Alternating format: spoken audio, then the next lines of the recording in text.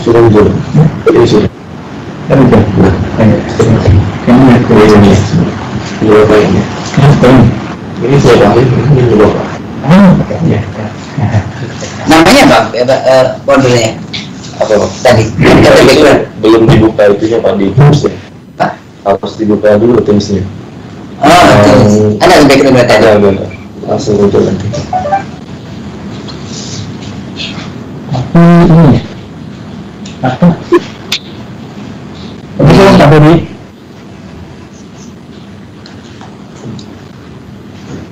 Halo, tes Pak.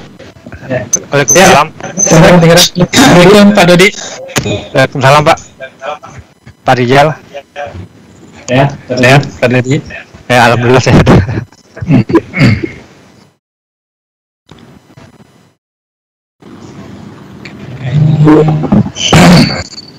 Assalamualaikum Pak Rizal.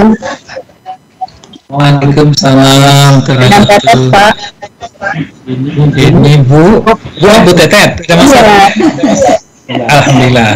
Mas Iwan, Assalamualaikum. Pak Dodi, Assalamualaikum. Waalaikumsalam warahmatullahi Pak Ayat lagi nih. Waalaikumsalam. Pak Dodi, apa kabar? Bu Tetet, apa kabar? Assalamualaikum. Baik, Alhamdulillah Prof. Prof Ya, sehat. Eh, Alhamdulillah. Alhamdulillah. Ya. Assalamualaikum Pak Iwan. Waalaikumsalam. Gimana Pak tadi? Baik-baik, Baik. sehat. Baik Pak. Pak Iwan baik. Alhamdulillah, iya. Ya, ya.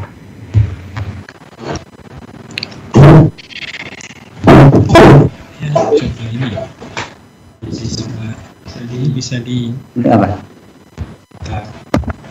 kalau di sisi gambar bisa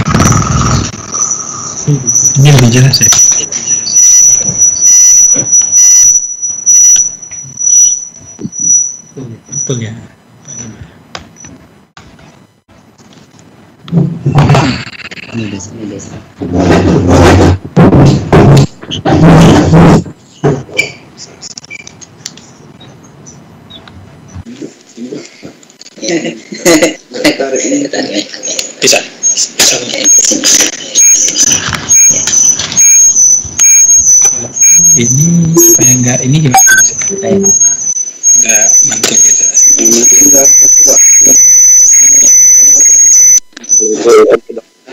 Pak Dodi.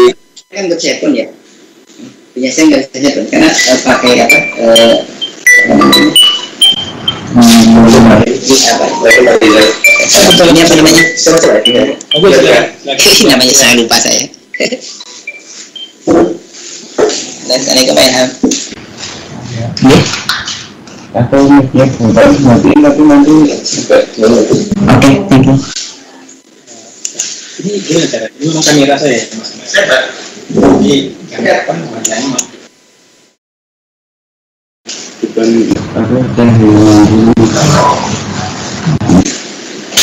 yang tampil di YouTube yang mana? Dari WA saya muncul Baru. Baru saya putihkan. oh gitu yang muncul WA saya katanya kalau saya putihkan dulu. Coba dicek di link yang saya kasih. oh ada tadi link itu ya oh bisa ini juga ya bisa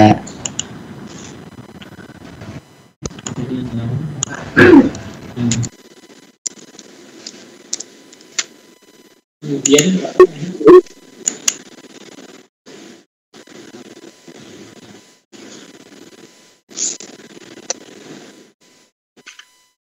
oh ya tampilnya ya sudah ini kami ini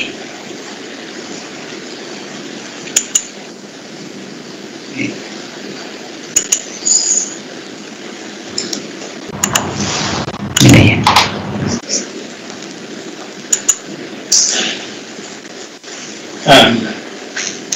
Oh, lambat ya? Assalamualaikum Pak Ayar. Pak Ayar. Pak Ayar masih Ya, ini. tadi ini berduduk di YouTube. Oke. Pak Ayar masih. Maka suara nggak kedengeran. Ah, ah, ah. Oke. Ya, ya. Sana ya.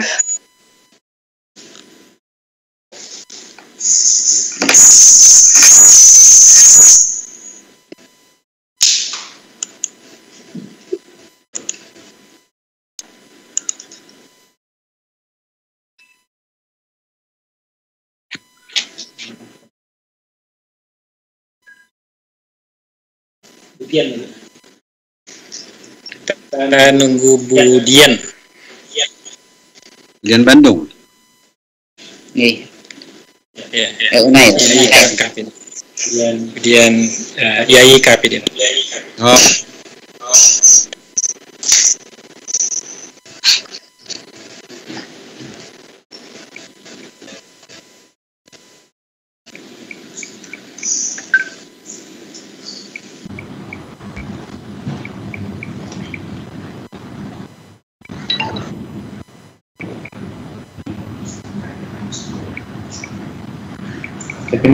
masa juga Pak. Dalam? Layarnya juga ada masa juga atau belum? Bukan boleh? Nah ini. Garisnya saya ini.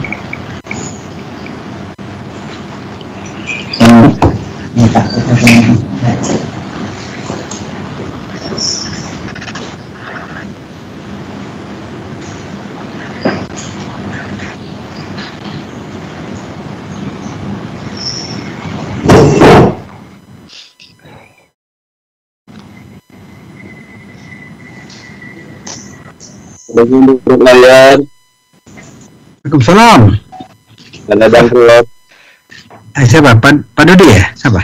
sudah bangkrut, CB, Pak Dadang Sebi, Prof. Apa Dadang? Masya Allah. Ada Pak Dadang juga nih.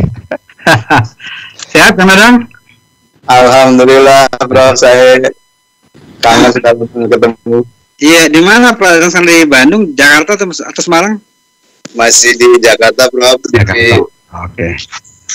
Kena PSBB juga ya? lockdown. Iya, sama. Saya sudah dua bulan lebih nggak pulang-pulang ke Jogja. Ah, ya, sehat. Gimana? Sehat. Alhamdulillah. Berkat doa antum semuanya. Alhamdulillah.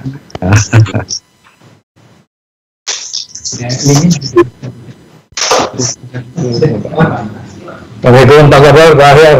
Waalaikumsalam. Eh, Syekh. Gimana ini? Masya Allah. Sehiwan. Di Jogja atau Jakarta ini? Jakarta saya. Oh gitu ya di. Coba coba balik balik saya. Balik balik saya.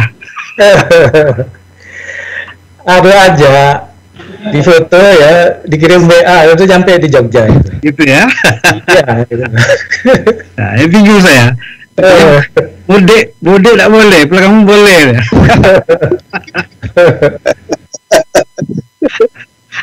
Iya iya. Nah, saya malah mau mudik.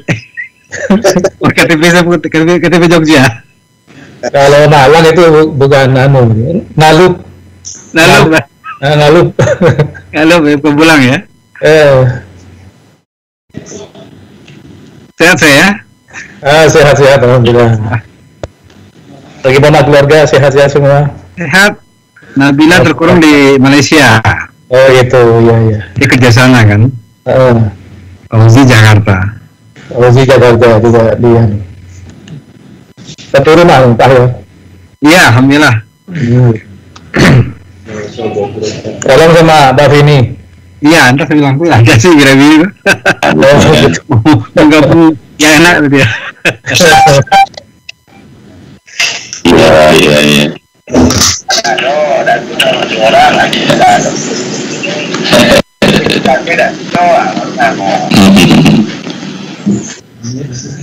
Pak Dodi, Jakarta di mana Pak Dodi?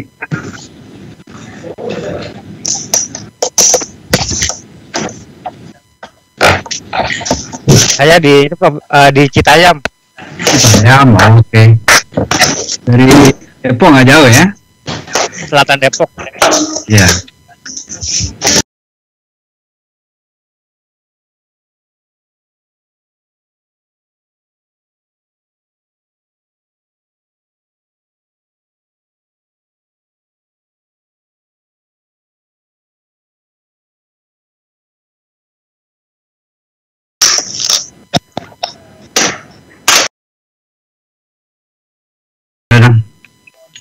Iya. Syekh Dadang Romansyah. Cuma terbuka terbuka itu cuma kalau ditutup terus kan. Dodi.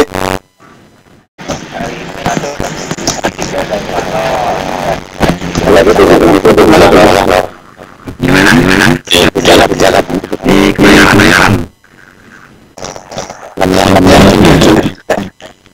Pak Akhir? di apartemen Oh, Pak apartemen.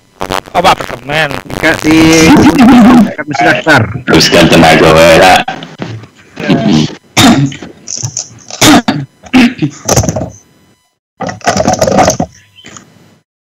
Keluarga yang di Ciledug masih ada, Bro? Masih masih alhamdulillah. Tapi udah berapa bulan nggak ketemu ini karena terpisah dengan oleh PSBB ini. Paling kalau komunikasi via biasa via via aja. Iya betul. betul. Oh, Pak Haim, Pak Haim kita seragam Pak Haim ya. Kita seragam ya. Oh, enggak, enggak. Saya promotasi dah, Pak. Kita janjian. Iya.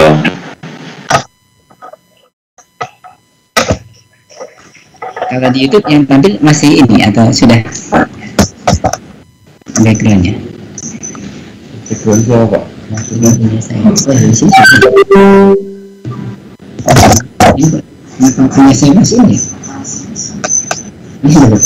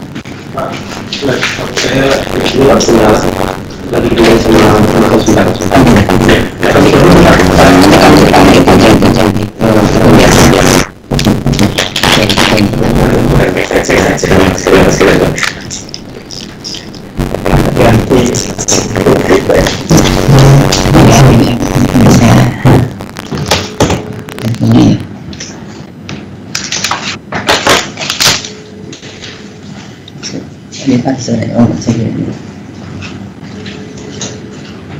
Kan punya saya.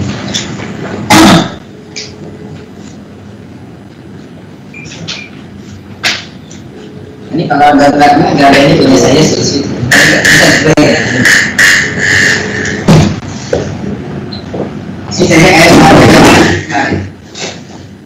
kiri.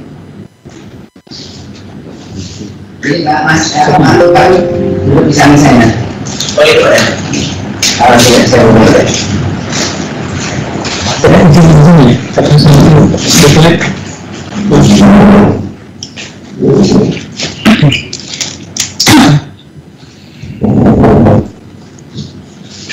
Kemarin Pak Sigit tuh di sini juga, Pak. Kemudian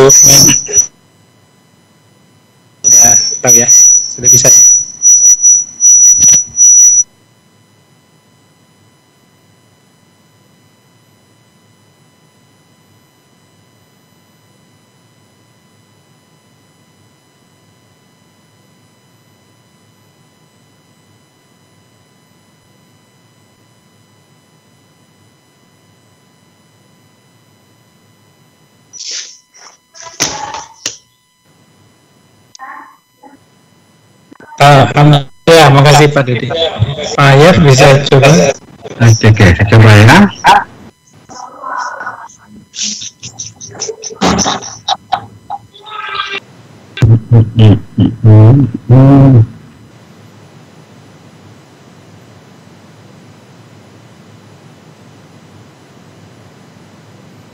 Oh.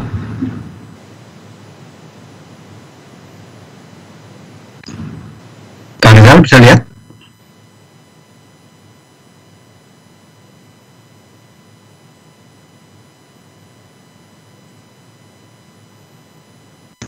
Eh, Pak Dodi mohon maaf bisa dikeluarkan dulu PPT-nya punya Pak Ahyan bisa masuk jadi bergantian.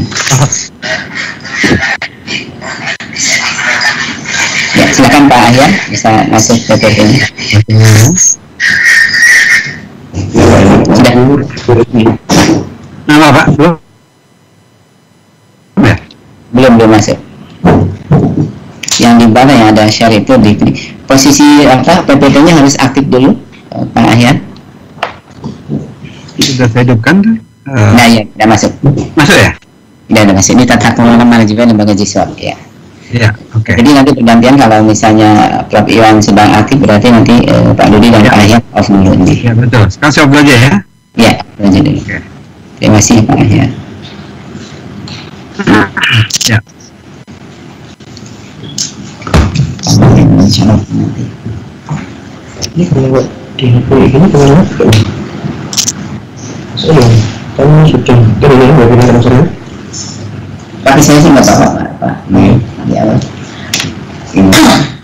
Ya. Ya bisa. Terus.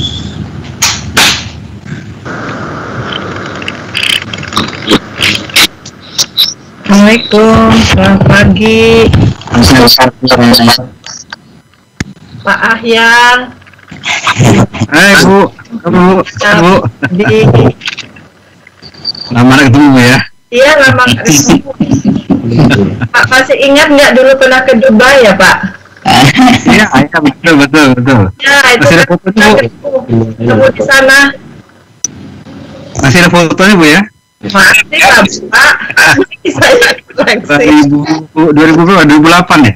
2008. Bayangkan sudah berapa tahun itu? 12 tahun. Iya. Bapak seperti dulu aja. Alhamdulillah. Prof Dian, Assalamualaikum dengan Tetet Prof. Ah, Bu Tetet. Iya. Halo. Tetet. Assalamualaikum. Pak, Pak Ahyar, Assalamualaikum Pak Ahyar. Salam Bu Tetet, sehat Bu. Prof Dian, Pak Ahyar. Ya, ke mana Mang? Saya, saya Prof. Alhamdulillah sehat Prof. Assalamualaikum. Iya, Iya. iya. Lumayan sama Prof Iwan diundang oleh Prof eh, Tetet. Iya Prof. Iya Pak.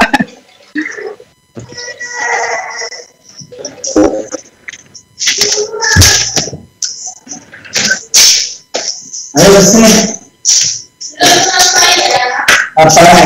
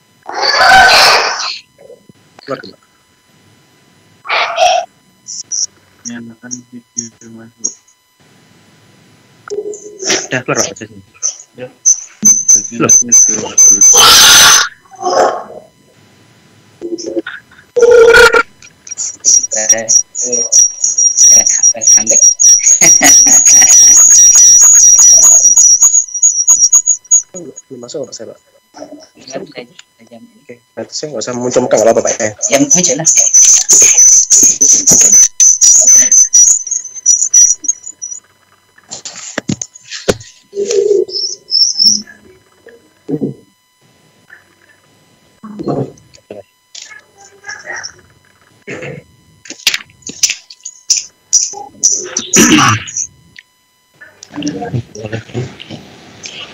Bismillahirrahmanirrahim. Yang orang Eh, baik, kita mulai ya, ya Pak Ibu semuanya.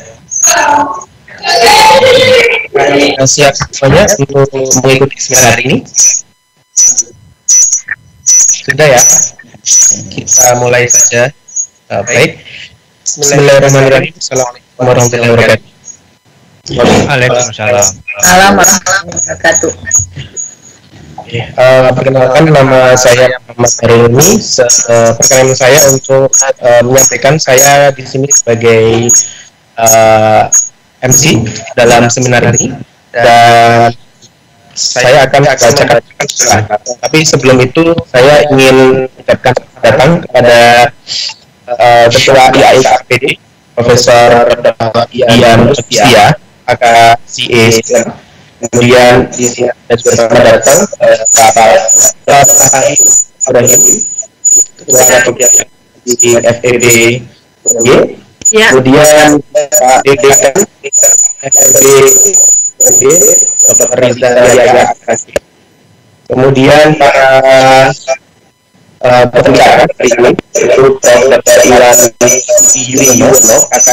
moderator FKAS kemudian ada Ahyan Adnan Muhammad Ahyan Adnan. AKCC Islam Dr. Siswantoro AKCC peneliti dan anggota tim awal SSK dan kepada seluruh eh, para hadirin yang hari ini sudah hadir melalui online selamat datang. Dan hari ini kita akan eh, mengadakan kegiatan eh, seminar webinar akuntansi syariah KAS di IKPD di akuntansi FEB UFY dan IAI dengan, dengan tema zakat untuk kesejahteraan umat tinjauan Abdullah akuntansi dan baik eh, yang yang pertama adalah kemudian yang kedua ada pembacaan atau tertib kemudian yang ketiga ada pidato pembukaan.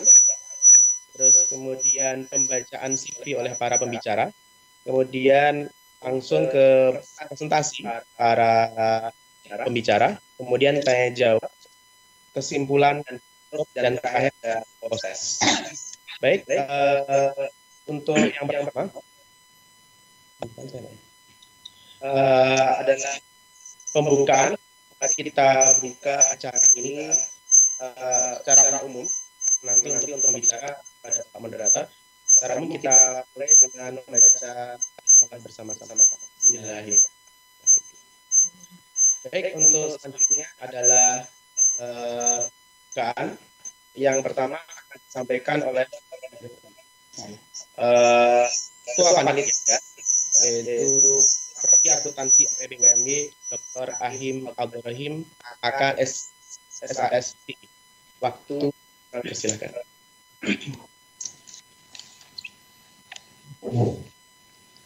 Terima kasih. Assalamualaikum warahmatullahi wabarakatuh. Alhamdulillahirabbil alamin wassalatu wassalamu ala asrofil anbiya wal mursalin wa ala alihi wa asma'i wa ba'du. Eh, yang kami hormati Prof. Dian sebagai Ketua APD di Pusat dan juga kepada Bapak Dr. Jalyaya sebagai Dekan FEB demikian juga kepada para pembicara Iwan Triyono dan Dr. Dodi Siswantoro dan Dr. Ahyar Adnan dan juga tentunya semua serta webinar akuntansi zakat. Mudah-mudahan acara ini bisa berjalan dengan sebaik-baiknya dan alhamdulillah peminatnya luar biasa eh, sekitar 2238 yang tercatat tadi malam. Kami ucapkan terima kasih kepada IAI eh, pusat dan juga IAI wilayah yang memberikan support kepada kami untuk menyelenggarakan acara ini sebagai host dan juga teman-teman eh, perguruan tinggi akuntansi seluruh Indonesia. Eh, kami akuntansi eh, sangat terbuka untuk bekerja sama eh, kemudian sebelumnya juga kami bekerjasama dengan uh, Prof. Iwan uh, untuk acara seperti ini dengan waktu itu masih masih namanya FKKAS dan kami dan juga kami juga pernah bekerjasama dengan uh, Pak Novi ya dari Forum Dosen Sektor Publik.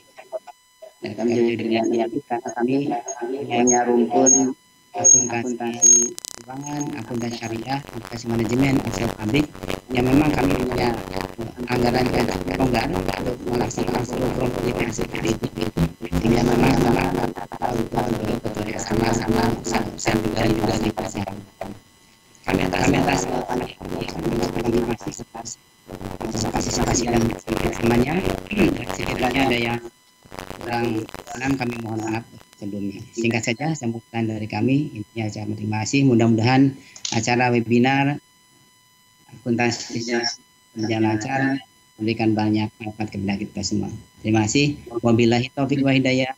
Wassalamualaikum warahmatullahi wabarakatuh. Waalaikumsalam warahmatullahi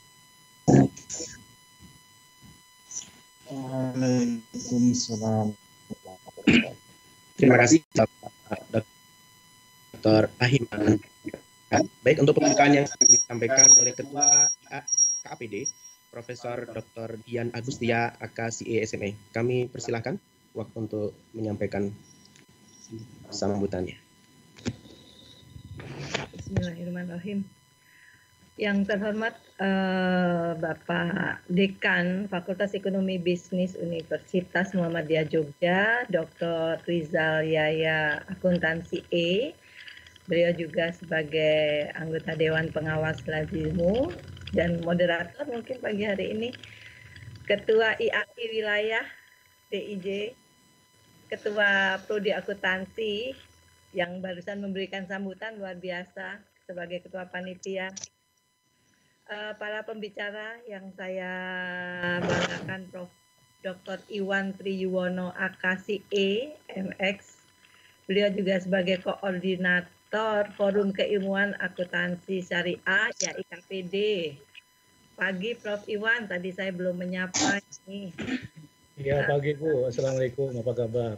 Waalaikumsalam, Alhamdulillah.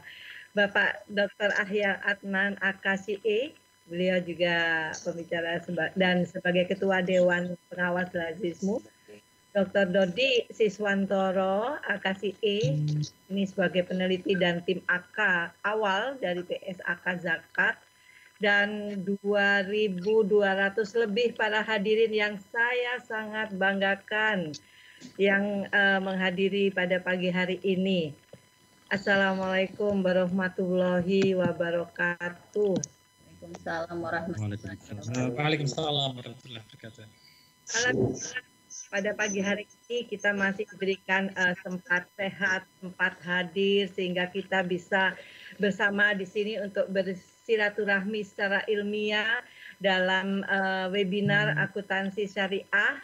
Yang pagi hari ini topiknya itu saya rasanya harus tinggal terus sampai berakhir karena topiknya luar biasa yaitu zakat untuk kesejahteraan umat, tinjau sifat Allah, mengenal Allah, akuntansi dan tata kelola. Saya memperkenalkan diri sebagai saya Dian Agustia sebagai Ketua Ikatan Akuntan Indonesia Kompartemen Akuntan Pendidik. Dan ini salah satu forum saya yang membanggakan forum keilmuan akuntansi syariah. Itu adalah salah satu forum keilmuan yang ada di dalam struktur dari Ikatan Akuntan Indonesia Kompartemen Akuntan Pendidik, ya IKPD. Webinar dilaksanakan atas uh, kerjasama dengan uh, forum keilmuan uh, akuntansi syariah ya IKPD Fakultas Ekonomi dan Bisnis Universitas Muhammadiyah Jogja dalam hal ini Akuntansi dan Ikatan Akuntan Indonesia wilayah uh, daerah istimewa Jogja. Itu nanti merupakan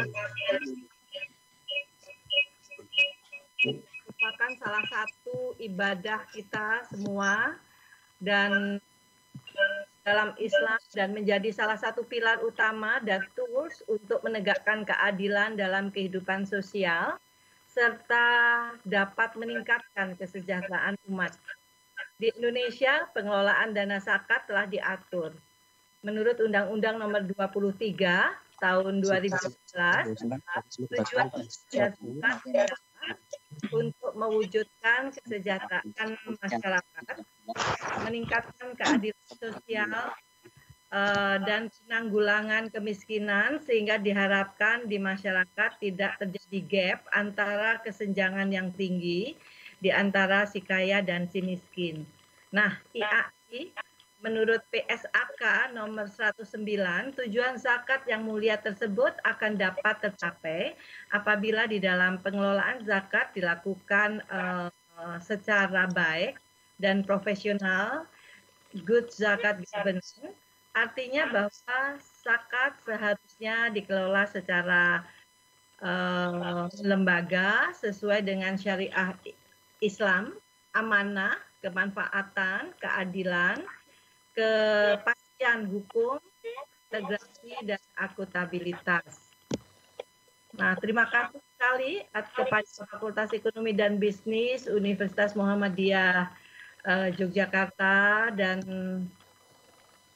sebagai host dari webinar ini dan penghargaan yang setinggi-tingginya kepada seluruh panitia sehingga pagi hari ini dihadiri sekitar 2.200 lebih dan ini selama saya mengikuti di uh, apa webinar-webinar dalam rangkaian ya IKAPD ini yang paling uh, banyak uh, pesertanya gitu.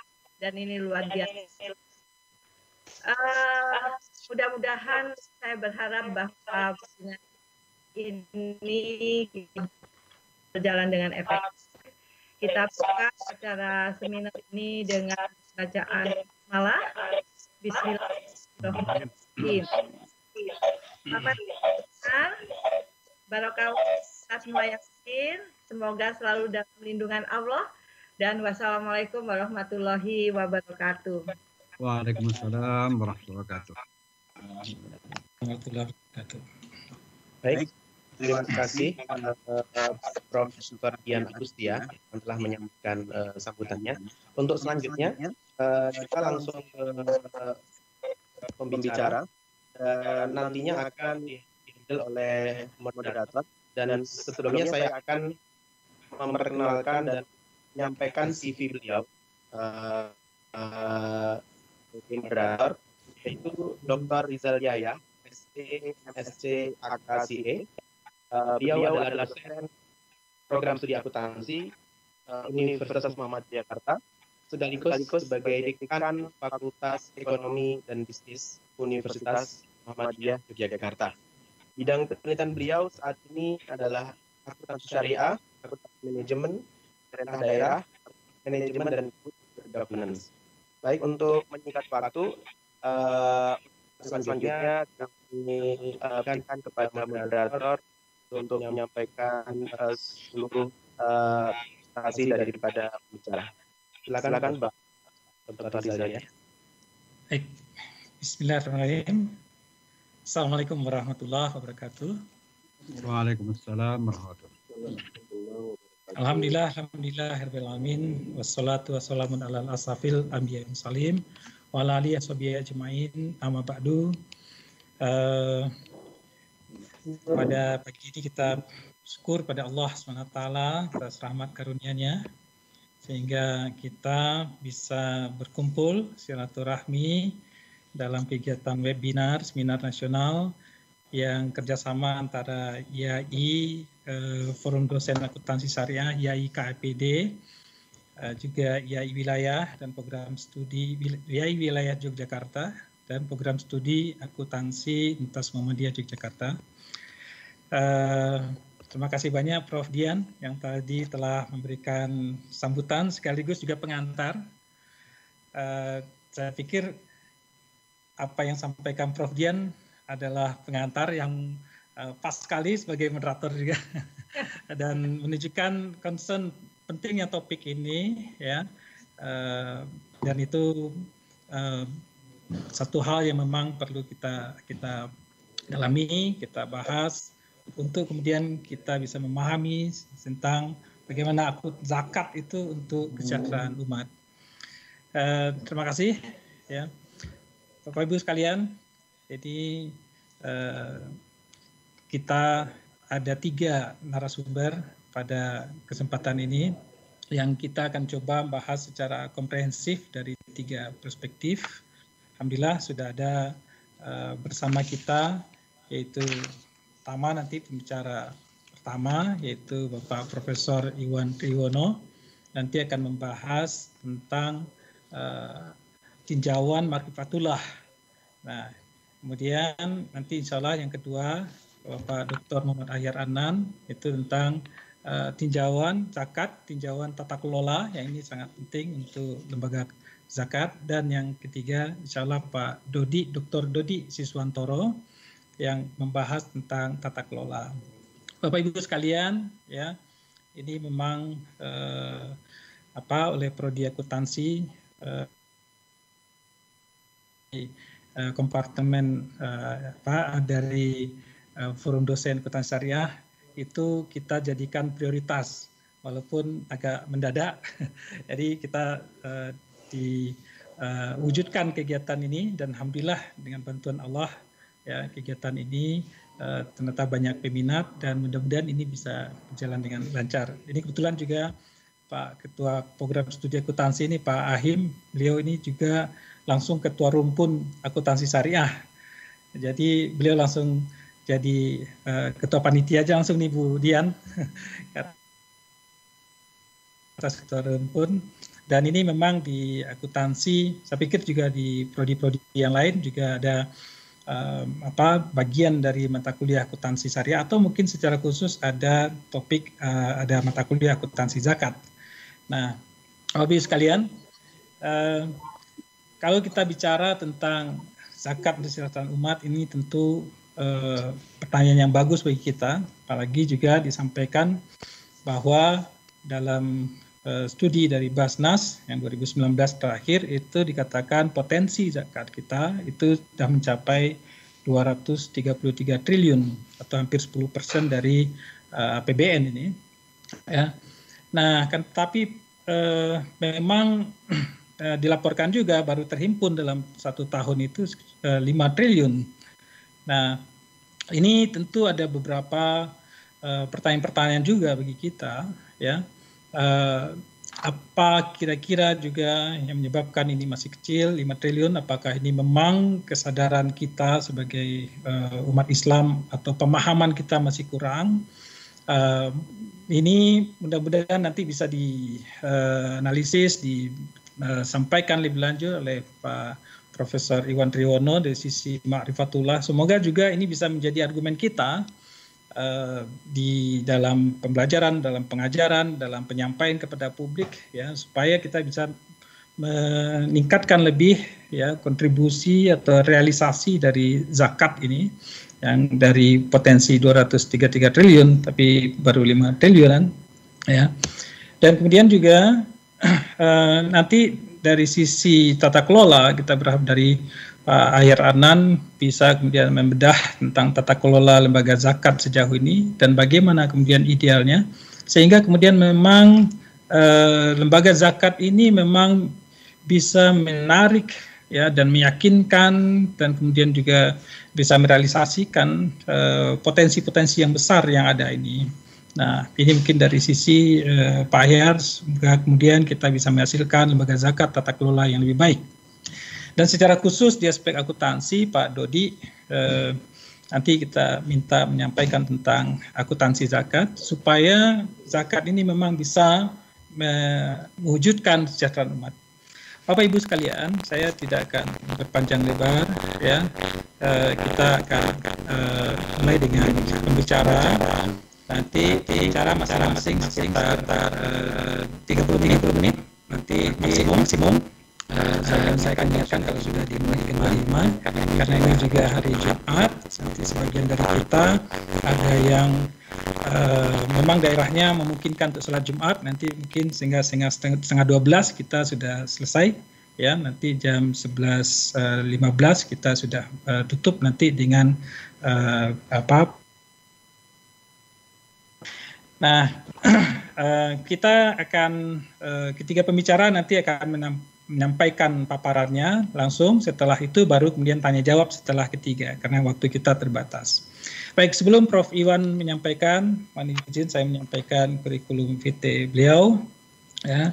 Uh, Prof Iwan ya itu uh, beliau adalah ya uh, uh, lahir di Bangkalan tahun 61 ya. Dan beliau adalah uh, dosen di Universitas Brawijaya pernah menjadi ketua program studi master uh, program master akuntansi Brawijaya dan juga pernah menjadi direktur program uh, pasca sarjana uh, di Universitas Muhammadiyah Malang. Dan pernah menjadi Joyo uh, tahun 2005 sampai 2009. Beliau tinggal di Brawijaya dan cukup beliau beliau adalah akuntansi syariah dan kita cukup mengenal baik beliau. Beliau uh, ini saya lagi nyari pendidikan beliau uh, eh, S3 di Wolonggong Pak. Pak Iwan ya? Prof Iwan. Nah nanti juga kita akan ketemu nanti Pak Ahyar nanti yang juga ya betul uh, Pak. Rodi eh Pak siapa? Pak Rizal ya betul. Ya nanti kita ketemu juga dengan Pak Ahyar yang juga di Wolonggong jadi ini reuni juga nih Pak Iwan sama Pak Ahyar nanti uh, termasuk juga reuni juga Pak Iwan dengan Pak Ahim ini yang dulu membimbing Pak Ahim S3-nya nih Pak Iwan. Eh, dan Pak Iwan ini adalah kita apa adalah uh, guru kita rujukan kita di bidang akuntansi syariah dan beliau sekarang adalah ketua forum dosen akuntansi syariah IAI KAPD.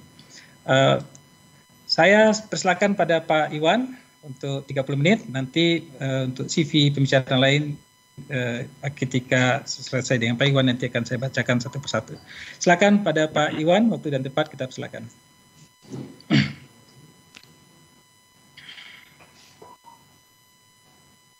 Oke baik, uh, terima kasih. Assalamualaikum warahmatullahi wabarakatuh. Waalaikumsalam. Assalamualaikum warahmatullahi wabarakatuh. Uh, terima kasih. Pertama-tama saya mengucapkan terima kasih kepada Bapak Rizal Yahya sebagai dekan di Fakultas Ekonomi dan Bisnis Universitas Muhammadiyah Yogyakarta yang telah bersedia menjadi uh, host untuk acara ini. Gitu ya. Kemudian yang kedua, saya mengucapkan terima kasih kepada Ibu Dian yang ini merupakan salah satu program dari IAI KAPD, khususnya di forum dosen akuntansi syariah. Kemudian saya juga mengucapkan terima kasih kepada Bu Tetet dan Pak Zaki yang telah mengkoordinasi acara ini. Dan insya Allah acara ini akan berjalan uh, lancar. Uh, baik Bapak Ibu sekalian, pertama-tama kita bersyukur kehadirat Allah Subhanahu. Pada hari ini kita bisa bertemu dan insya Allah kita akan berdiskusi tentang uh, zakat. Dan kemudian yang kedua kita dengan kita Nabi Muhammad SAW dan dengan uh, dengan beliau akhirnya kita mendapatkan rahmat iman ini. Dan mudah-mudahan rahmat iman ini kita bawa hingga akhir hayat kita.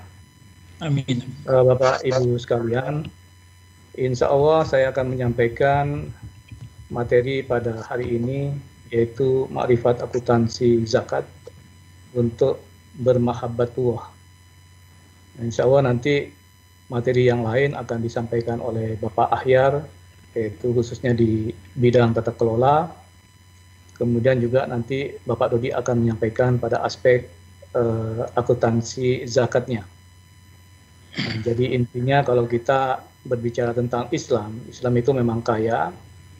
Islam secara utuh itu memang ada aspek syariah, ada aspek tarikat, ada aspek makrifat dan aspek hakikat.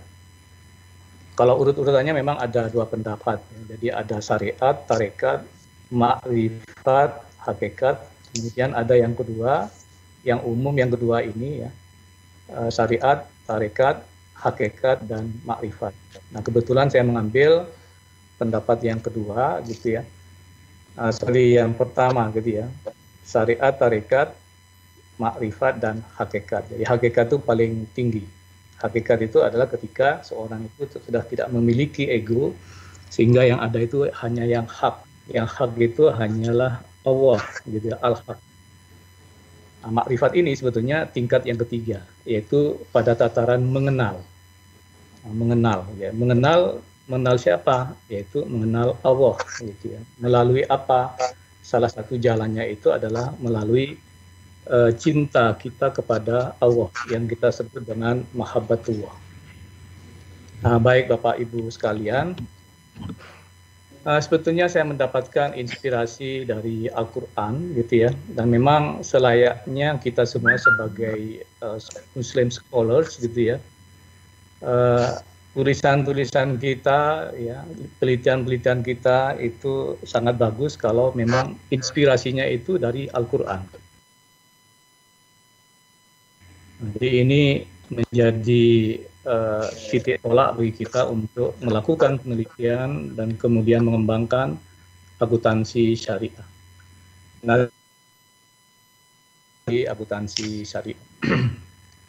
nah, kita sudah uh, kenal gitu ya ayat tentang zakat ini, yaitu surat Al-Quran, surat At-Taubah, surat nomor 9, 103 yang di sini dikatakan ya, artinya adalah ambillah zakat dari sebagian harta mereka dan dengan zakat tersebut engkau membersihkan dan mensucikan mereka.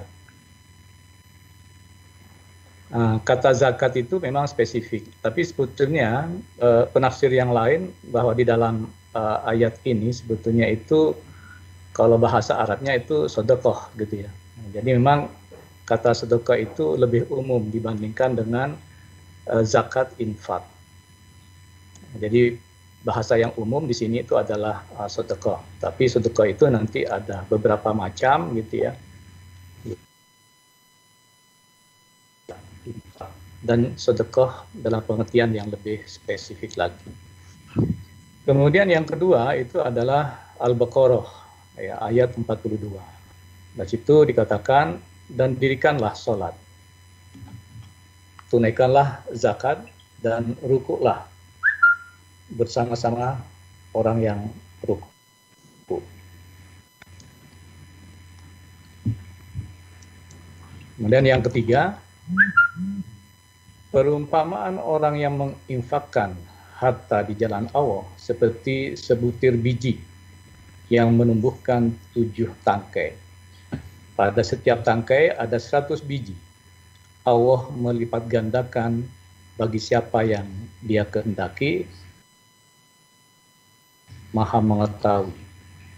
Ini Al-Baqarah ayat 261. Jadi yang menarik di sini di At-Taubah 103 itu eh, bahwa zakat itu ditarik ya ditarik di sini ya secara paksa ada pihak luar pihak luar itu adalah amil atau kalau dalam sebuah negara itu adalah pemerintah. Ya tariklah zakat ambillah zakat dari sebagian harta mereka. Nah ini kata kedua itu adalah harta. Nah nanti kita akan berbicara tentang harta itu apa. Nah, yang menarik lagi adalah bahwa dengan zakat tersebut engkau engkau ini adalah Nabi Muhammad.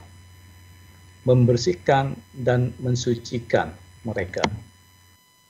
Dan juga sebetulnya ada lanjutannya gitu ya di ayat 104 itu juga uh, menarik gitu ya.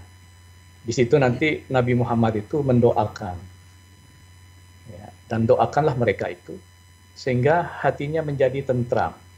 Jadi artinya hati dari seorang yang mengeluarkan zakatnya itu menjadi tentram. Nah, karena Nabi itu mendoakan. Cuma nanti kan pikiran kita itu, loh, Nabi kan sudah meninggal. Apa dia mendoakan? Nah, jangan dikira Nabi Muhammad itu meninggal. Nabi itu tetap hidup. Nah, kita bisa menemukan di ayat-ayat Al-Quran yang lain gitu. Allah mengatakan, jangan dikira mereka itu meninggal. Ya. Jangan dikira mereka itu mati. Itu Allah itu mengatakan menjelaskan tentang para syuhada gitu. Jangan dikira mereka itu mati. Mereka itu adalah hidup dan bahkan Tuhan itu memberikan rezeki kepada mereka. Ya artinya memang ya hidup, bukan mati gitu ya. Nah, mati itu adalah uh, salah satu pintu atau salah satu jalan untuk proses kita melakukan perjalanan, yaitu untuk kembali kepada Allah itu. Jadi ketika seorang itu berzakat, kemudian Nabi itu mendoakan, dan hati kita yang berzakat itu menjadi tenang. Dan di situ nanti ketika kita bertaubat dan juga berzakat, maka Allah menerima taubat dan zakat kita. Dan di situlah nanti kita akan uh, mengenal Allah. Nah, baik Bapak Ibu sekalian, kita lanjut gitu ya. Untuk kemungkinan gitu ya, kita umat Islam ini meskipun bahwa zakat itu merupakan kewajiban gitu ya. Kadangkala atau mungkin juga sering hati itu enggan untuk membayar zakat. Nah, jadi ini uh, anu perlu kita renungkan gitu. Apa iya ya? Saya ini termasuk golongan yang enggan atau tidak mau mengeluarkan zakat dari harta kita ini.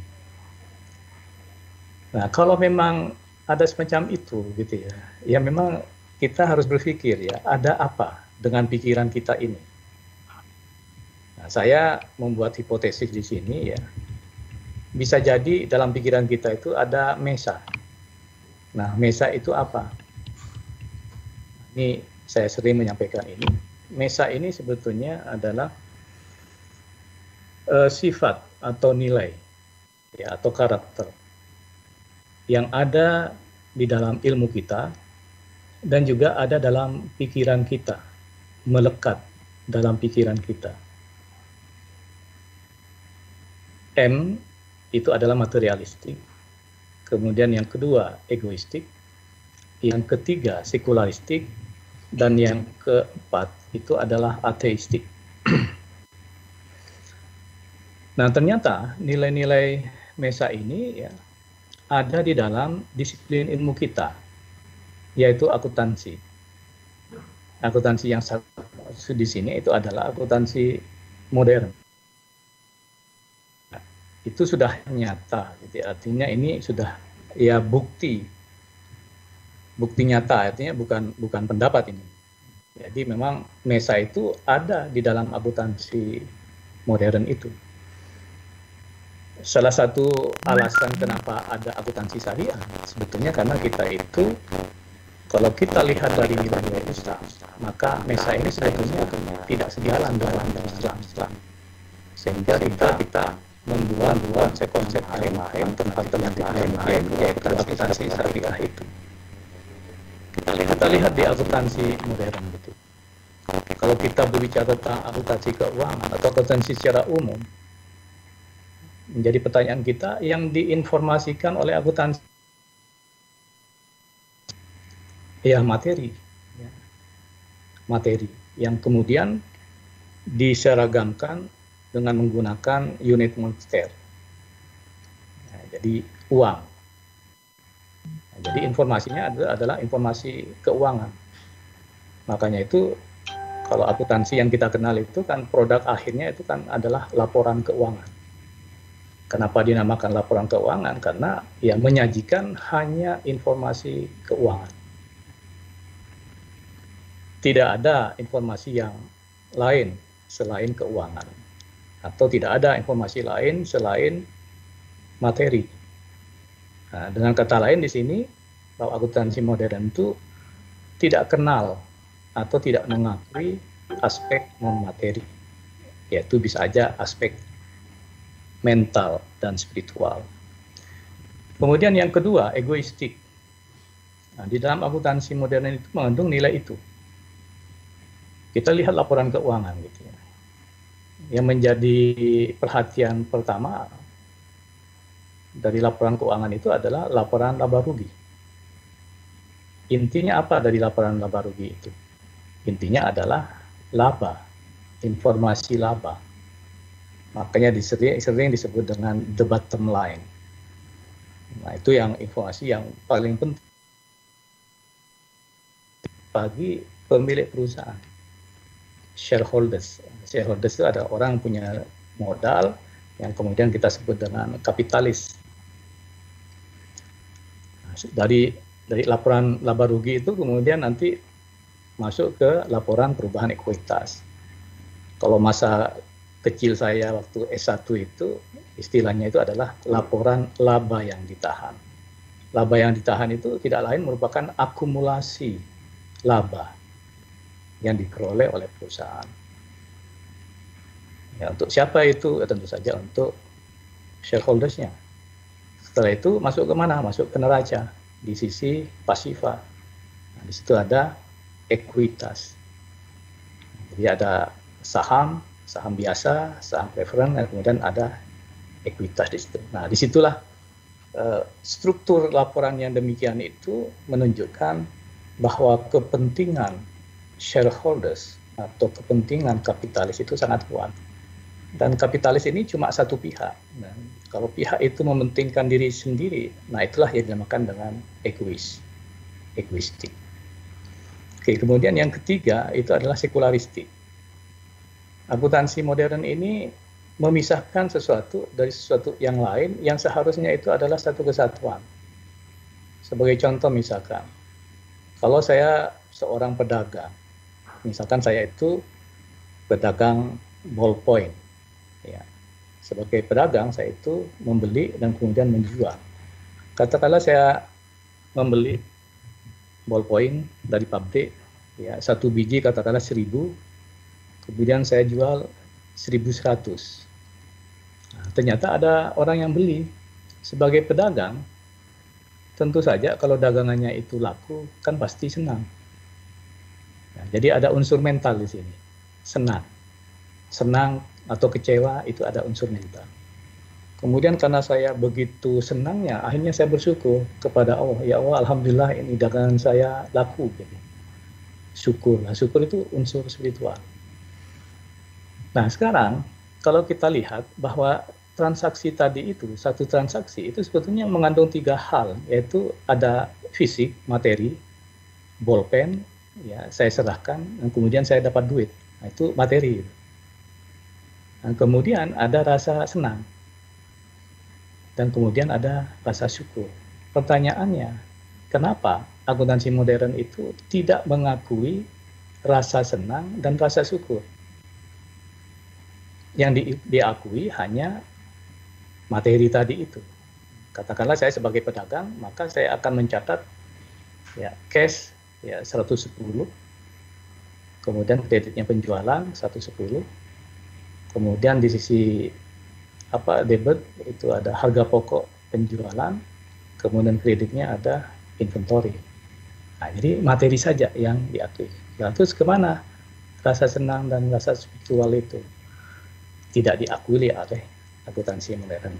Karena memang pahamnya akuntansi modern itu materialistik, yaitu hal-hal yang di luar materi itu dianggap tidak ada. Jadi sekali lagi sekularistik itu memisahkan sesuatu dari sesuatu yang lain. Ini salah satu arti. Meskipun ada arti yang lain bahwa sekuler itu adalah membumikan sesuatu yang sangat normatif sehingga bisa dipraktekkan. Jadi yang normatif itu diturunkan supaya bisa dipraktekkan. Itu arti yang kedua. Lanjut dari sekularistik itu ada adalah bahwa karena dia menolak hal-hal yang non materi, maka dia juga akhirnya menolak Tuhan gitu ya. Nah, Tuhan tidak bisa diukur, Tuhan tidak bisa dilihat dan seterusnya. Ya akhirnya ya sudah ateistik. Nah, kita lihat apakah di akuntansi modern itu ada unsur Tuhannya? Tidak ada. Nah, berbeda dengan akuntansi syariah yang selama ini saya pelajari dan saya kembangkan, akuntansi syariah itu adalah seni dan ilmu meracik informasi yang fungsinya itu sebagai zikir dan doa. Untuk apa? Untuk memenuhi kebutuhan ekonomi, mental, dan spiritual manusia dalam rangka beribadah, bertakwa, dan kembali kepada Allah dengan jiwa yang suci, tenang, ridho, dan diridhoi oleh Allah. Nah, ini akuntansi syariah. Nah, kalau akuntansi modern, definisinya paling begini.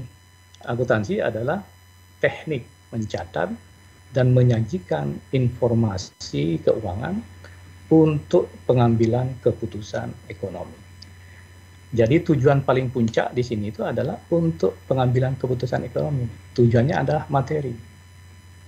Nah ini mudah-mudahan kita bisa memahami ini. Gitu ya. Bahwa akuntansi modern sangat berbeda dengan akuntansi syariah. Akuntansi syariah itu adalah ya tujuan akhirnya ya ya Allah itu. Nah rupanya gitu ya. Uh, jari akhirnya apa? Pikiran kita itu menyatu dengan cara berpikir akuntansi modern ini.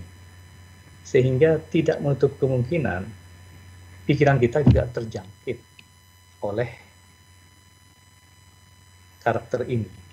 Ya. Nah, kalau memang demikian, itu dalam bentuk apa gitu ya?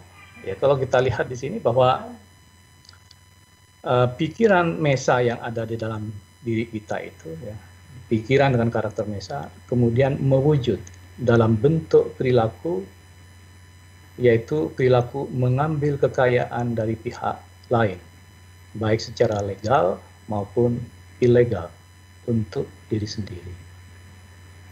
Dalam konteks sistem perekonomian, perilaku tersebut mewujud dalam bentuk ekonomi of taking, yaitu sistem ekonomi kapitalis dengan pikiran utama mengambil dan mengakumulasi kekayaan dari pihak lain. Nah, jadi ini ekonomi kapitalis dan akuntansi modern kita ya memang ya anak dari sistem ini sebetulnya. Nah, saya agak cepat, ya mudah-mudahan waktunya cukup gitu ya.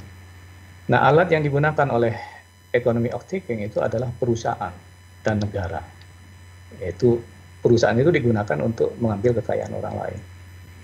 Kalau versi kita, perusahaan itu sebagai alat untuk menyebarkan rahmat bagi seluruh alam. Nah ini sesuai dengan perintah Allah, wa ma arsalnaka illa rahmatan lil alamin. Jadi tugas kita itu adalah khalifah, ya. kita adalah khalifah. Kita bukan homo economicus, tapi kita itu adalah khalifah Khalifah ini tugasnya apa? Yaitu menciptakan dan menyebarkan rahmat bagi seluruh alam. Nah, salah satu alat yang kita pakai untuk menyebarkan rahmat itu adalah perusahaan. Nah, konsep perusahaan kita mestinya berbeda dengan konsep perusahaan modern. Nah, mohon maaf gitu ya. Kalau pemahaman saya, PSAK syariah itu konsep perusahaannya sangat mirip dengan yang modern. Mestinya kita itu menggunakan konsep syariah untuk perusahaan. Sehingga perusahaan syariah itu berbeda dengan uh, perusahaan modern.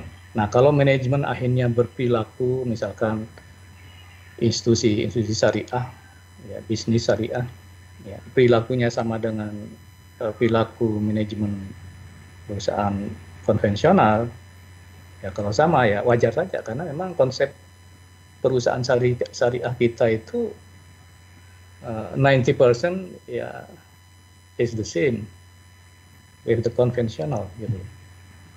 Nah, jadi begitu. Kemudian alat yang lain itu adalah negara. Jadi kita kalau kita lihat sebetulnya kita dulu dijajah oleh Belanda itu sebetulnya siapa yang menjajah kita? Sebetulnya sih kalau menurut pemikiran yang lain yang non mainstream katakan begitu. Sebetulnya dijajah oleh perusahaan. Kan awal yang masuk itu kan VOC. VOC itu adalah perusahaan. Kemudian bisa aja akhirnya VOC bekerja sama dengan kerajaan Belanda. Dan akhirnya Belanda sebagai sebuah kerajaan negara yang ikut berkobal, ber, apa, bekerja sama mengirimkan kekuatan untuk menguasai Indonesia. Ya, sama, sampai sekarang pun ini sebetulnya dunia itu dikuasai oleh perusahaan atau di balik perusahaan itu siapa? Kapitalis. Nah, jadi begitu. Oke, alat yang lain adalah sistem bunga. Ini kayak sedotan gitu ya. Kayak sedotan kita masukkan ke gelas yang isinya jus, kemudian kita sedot. Nah, itu semacam itu. Kalau kita ada orang yang memberikan pinjaman, kemudian ada bunganya di situ. Nah, ibarat sebetulnya itu adalah uh, alat untuk menyedot kekayaan orang lain. Kemudian berikutnya adalah konsumerisme. Kita dipaksa untuk konsumtif. Kemudian eksploitasi terhadap manusia. Ya, kaum buruh misalkan ya, ya itu sudah sering kita dengar. Kemudian juga eksploitasi terhadap alam. Kemudian informasi dan teknologi. Teknologi ini digunakan misalkan rekayasa genetika, semua makanan kita itu rekayasa gitu ya dan juga mengandung racun semua itu semata-mata hanya untuk mendapatkan keuntungan. Kalau kita perhatikan semua makanan kita itu isinya racun sebetulnya. Diracuni dalam rangka untuk mendapatkan keuntungan. Kayak beras kita misalkan. Beras kita itu apakah murni tanpa racun itu?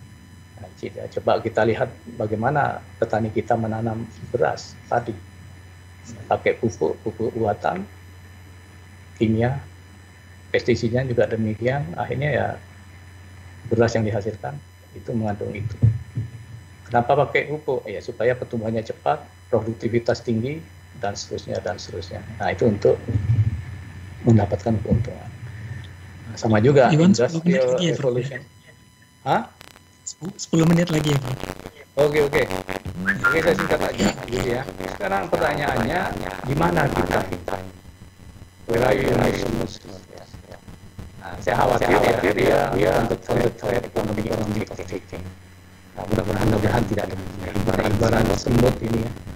Semut semut mencicipi madu dirasa manis, kemudian diulangi lagi, akhirnya dia masuk di situ dan akhirnya terperangkap di dalam madu yang lengket itu dan akhirnya dia mati di situ. Ya. Nah, untuk mengetahui apakah kita terjangkit oleh Mesa itu ya ada alatnya di sini ya. Nah, bisa dites sendiri nanti gitu ya. ya ini alatnya ini. Rasa apa yang hadir dalam diri kita ketika kita berzakat berinfak dan bersedekah? Kalau kita itu berzakat kemudian kita merasa bahwa, bahwa harta kita berkurang nah berarti ini positif nih. Artinya bahwa kita itu terjangkit virus Mesa. Tapi kalau kita berzakat kemudian kita tidak merasa berkurang, malah hartanya merasa bertambah, maka berarti ini kita negatif. Artinya kita tidak terjangkit oleh virus MESA.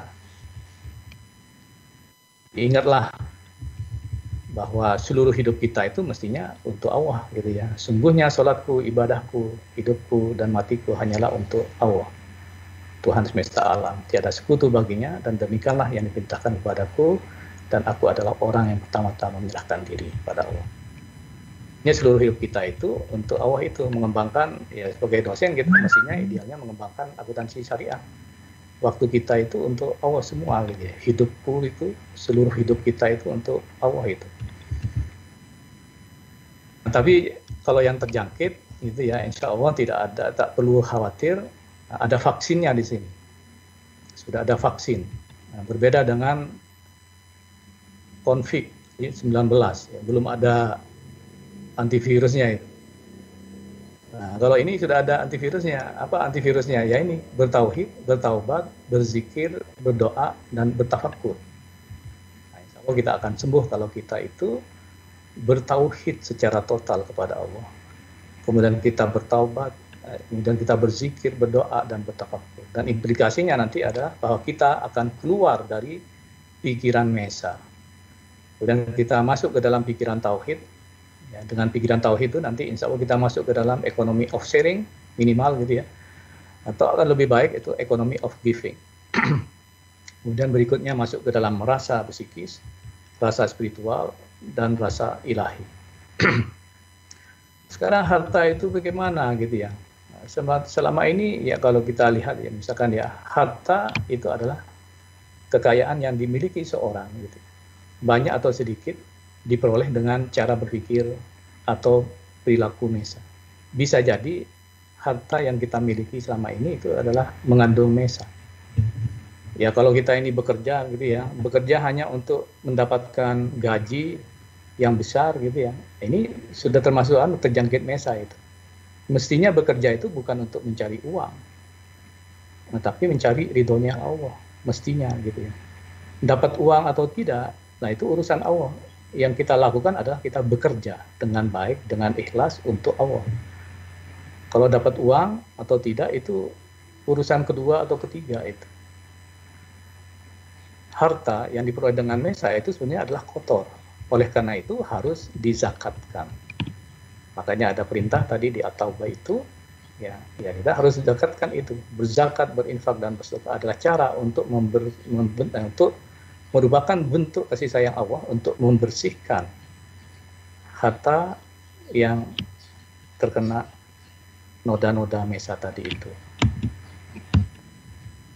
Nah, hakikat harta sebetulnya, gitu ya. Jadi harta yang sebenarnya adalah yang dizakatkan, yang diinfakkan atau disedekahkan dan dibelanjakan di jalan Allah itu sebetulnya sebenarnya bukan yang dikumpulkan itu, bukan yang kita tabung sebanyak-banyaknya itu. Justru harta yang benar-benar harta bagi kita itu adalah yang kita sedekahkan dan kita belanjakan di jalan Allah. Ini misalkan ini ada logika. Misalkan kita memiliki uang 5 juta. Kemudian digunakan untuk makan, minum, transport, sekolah, dan keperluan sehari-hari sebesar dua setengah juta. Kemudian digunakan untuk sedekah itu satu setengah juta. Terus sisa harta kita berapa? Ada orang yang menjawab ya sisanya satu juta. Yaitu 5 juta dikurangi dua setengah, dikurangi satu setengah. Nah, kalau jawabannya ini, ini jelas bahwa terjangkit mesa, gitu ya. Kemudian jawaban yang kedua bisa aja yang satu setengah, yang disedekahkan. Nah, ini lumayan, gitu ya. Kemudian yang ketiga bisa aja ya dua setengah, yaitu yang yang digunakan untuk kebutuhan sehari-hari untuk makan minum, kemudian ditambah dengan sodekoh ya.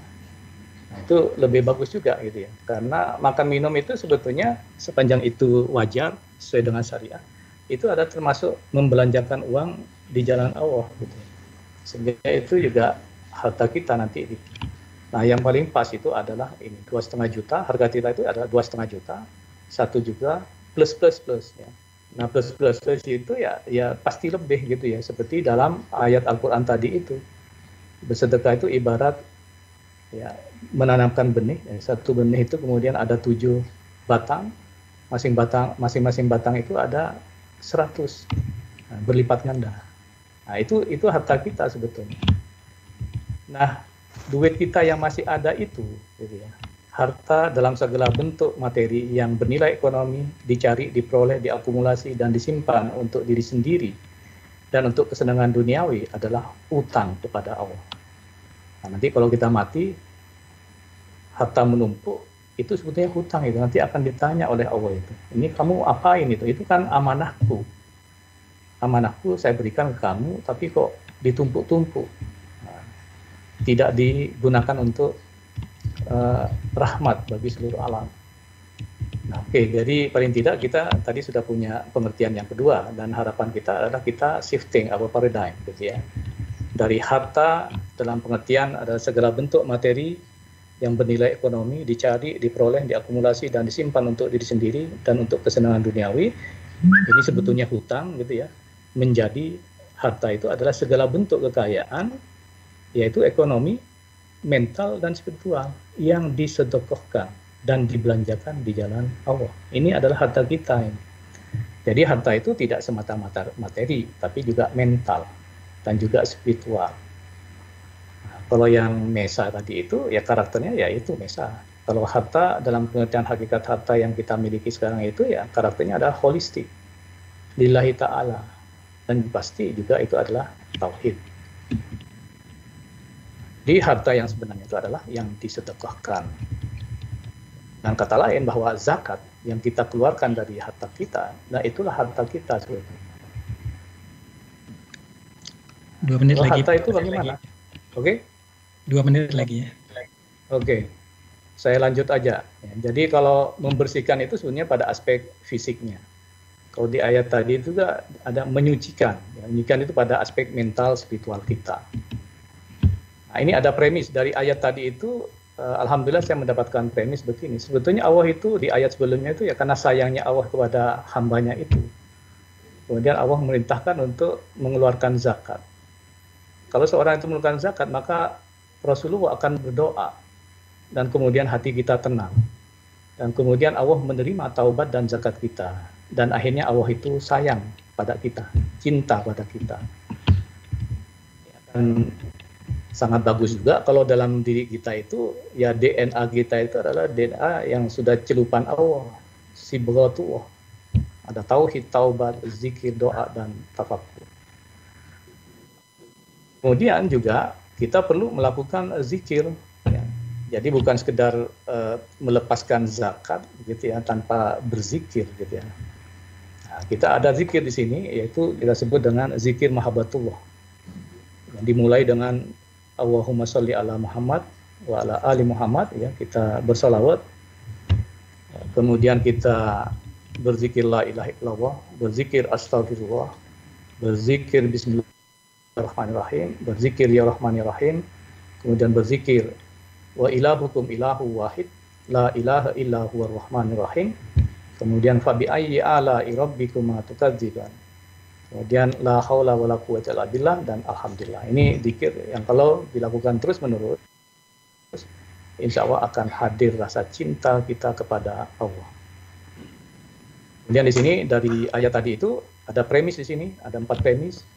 Pertama adalah Allah memberikan jalan kepada hambanya untuk mendapatkan kasih sayangnya dengan jalan berzakat.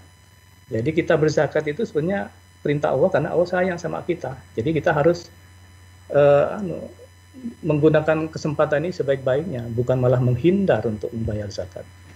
Kemudian yang kedua premisnya itu bahwa zakat adalah instrumen untuk membersihkan harta yang kurang bersih dan menyucikan hati yang materialistik, egoistik, sekularistik, dan ateistik. Yang ketiga adalah bahwa dengan berzakat Rasulullah mendoakan orang yang berzakat menzakatkan hartanya sehingga hatinya tenang. Ketenangan ini semakin kuat ketika orang tersebut berzikir mahabbatullah tadi itu. Dan premis yang keempat, Allah menerima taubat dan zakatnya serta mengundang jiwa yang tenang tadi itu untuk kembali kepadanya dengan rasa puas dan diridhoi. Ini ada ayat yang lain itu. Hai jiwa yang tenang, kembalilah ke Tuhanmu dengan rasa puas dan diridhoi. Nah, ini premis-premis makrifat akuntansi zakat. Secara umum, maka saya dapat mengatakan bahwa makrifat akuntansi zakat itu adalah merupakan instrumen bagi manusia untuk mengenal Allah melalui kasih sayangnya. Nah, kasih sayang Allah itu dapat diperoleh dengan jalan berzakat. Yang dengan zakat itu Rasulullah berdoa untuk ketenangan jiwanya dan kemudian dapat diperkuat dengan zikir mahabbatullah. Kemudian Allah menerima taubat dan zakat dari jiwa yang tenang itu. Jiwa yang tenang itu ya nafsu ya ya ayyuhal nafsul mutmainnah. Diundang oleh Allah untuk kembali kepadanya dengan rasa puas dan diridhoi. Nah, itulah uh, makrifat akuntansi zakat. Dan insya Allah ini merupakan premis yang diturunkan dari uh, Atoba tadi itu 103 sampai 104. Jadi sebagai sebagai peneliti, saya pikir uh, kita sebagai peneliti akan lebih bagus kalau sudah mulai membangun teori itu dari ayat Al-Quran gitu ya. Dari ayat Al-Quran itu kita bisa merumuskan uh, premis-premis tadi itu untuk kemudian dipraktekkan. Nah, jadi nanti bagaimana mempraktekkan ini? Kalau mempraktek ini ya, ya langsung aja dipraktekkan bisa. Jadi ya, makrifat akuntansi zakat ini tidak perlu standar akuntansi, langsung bisa dipraktekkan. Baik, saya pikir begitu Pak uh, Rizal Yahya. Insya Allah nanti kita lanjut dengan uh, tanya jawab. Kurang lebihnya sekian. Terima kasih. Assalamualaikum warahmatullahi wabarakatuh.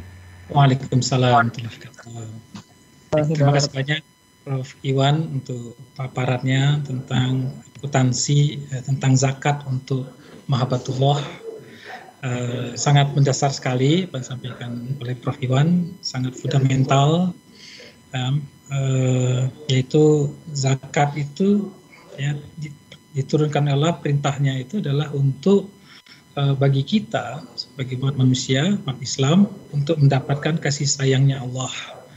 Uh, sehingga kemudian kalau kita tidak melaksanakannya justru kita sendiri yang yang rugi karena kita tidak mendapat kasih sayangnya Allah.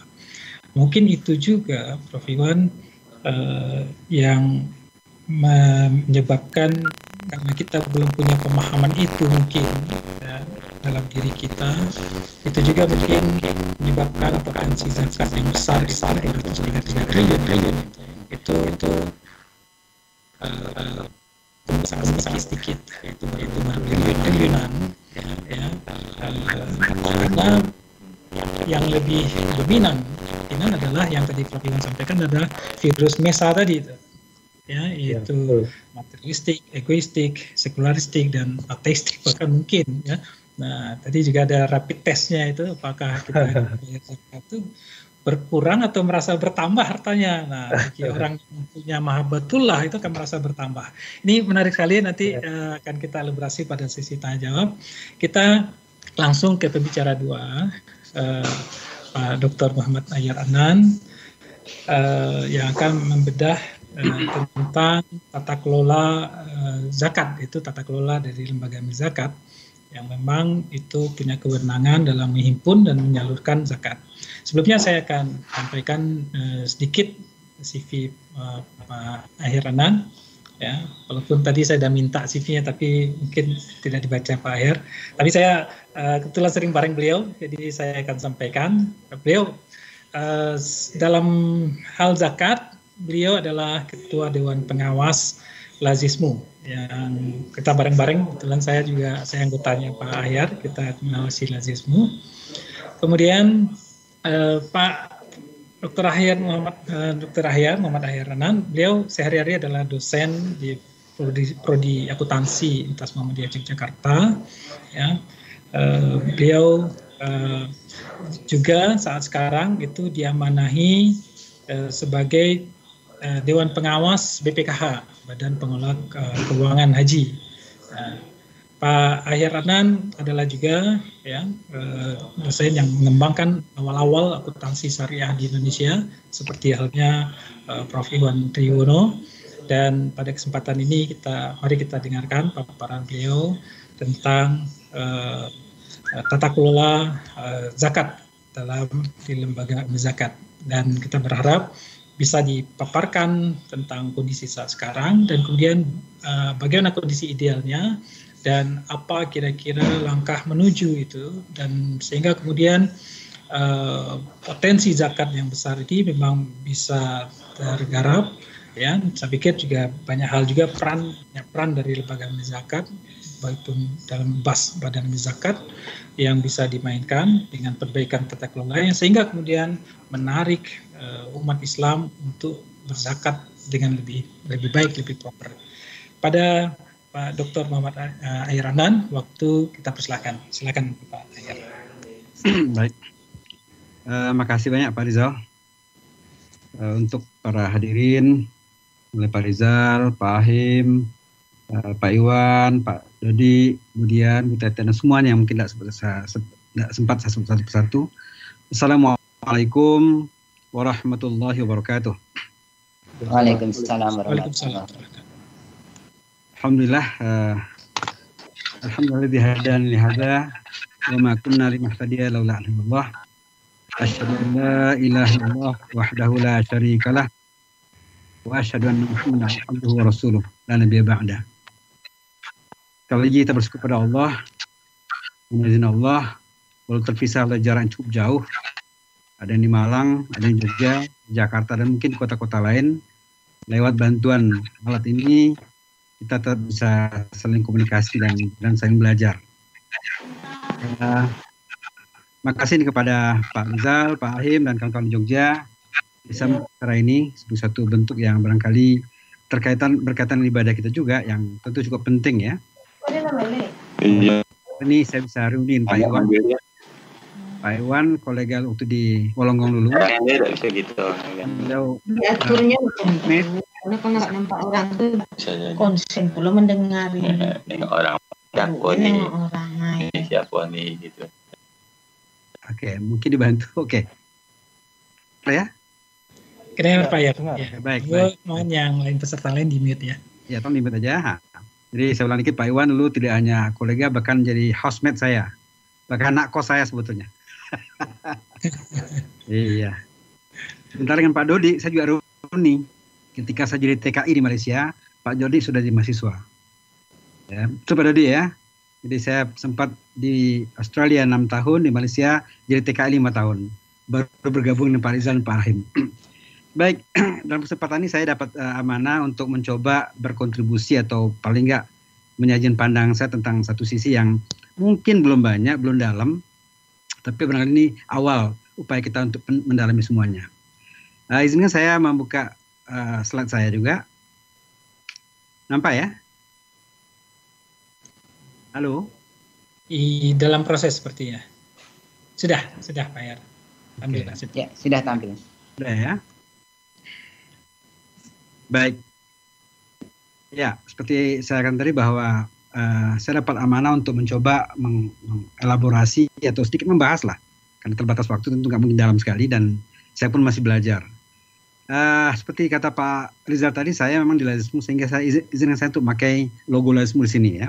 Ini sekalian barangkali ya. Karena Lazismu satu di antara eh, 16 atau 18 lazis nasional yang diakui oleh pemerintah. Baik, s- kira-kira materi seperti ini ya. Saya mulai Vita nanti dan kita bahas sedikit makna tata kelola, kemudian prinsip tata kelola, manfaatnya, lalu implementasi Indonesia dan mungkin di lembaga zakat ya. Eh, saya kira tadi sudah singgung Pak Iwan bahwa bahwa satu di antara masalah kita yang begitu jelas sejak dahulu kala ya eh, adalah kemiskinan. Betapapun Muslim pernah mengalami masa legacy, masa kejayaan sepanjang sekitar 600-700 tahun. Ya. Tapi kemudian kita lihat sampai hari ini, kalau bicara kemiskinan eh, biasanya terkait dengan umat Islam. Ya. Sehingga ini yang seperti apa ya, sulit betul di- di- dituntaskan.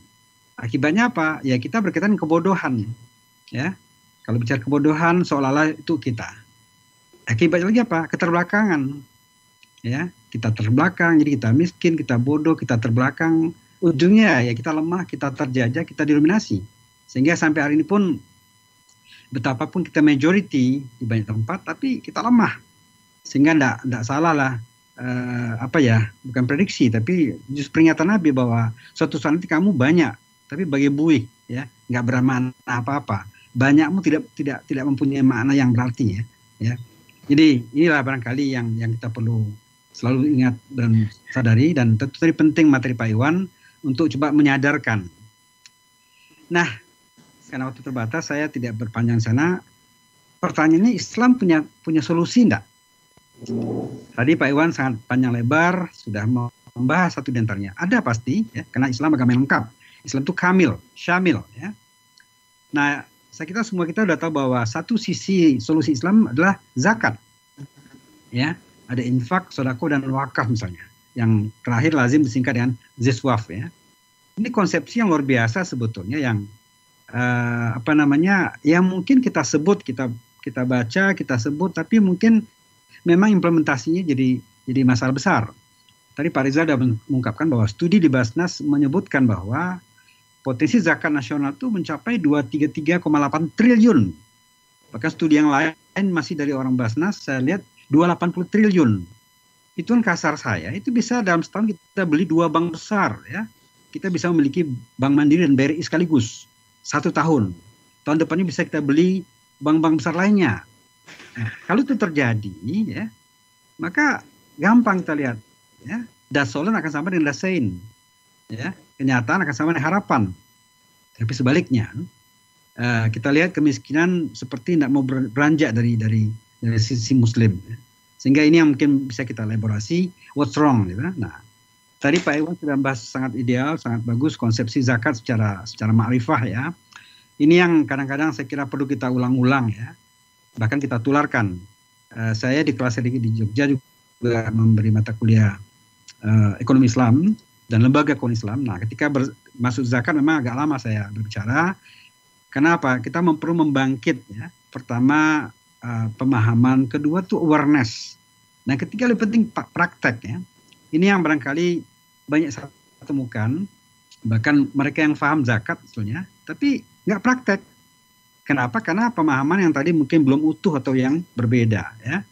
Ya, banyak betul saya temukan orang uh, dalam mana harta itu berbeda ya mungkin kena, kena misalnya Pak Iwan tadi ya mungkin ya sehingga akibatnya apa uh, itulah bahwa mereka ketika bicara apalagi zakat dianggap sebagai cost pengurang ya maka dengan demikian mereka akan akan bersikap seperti halnya orang atau minimizing minimizing the cost ya.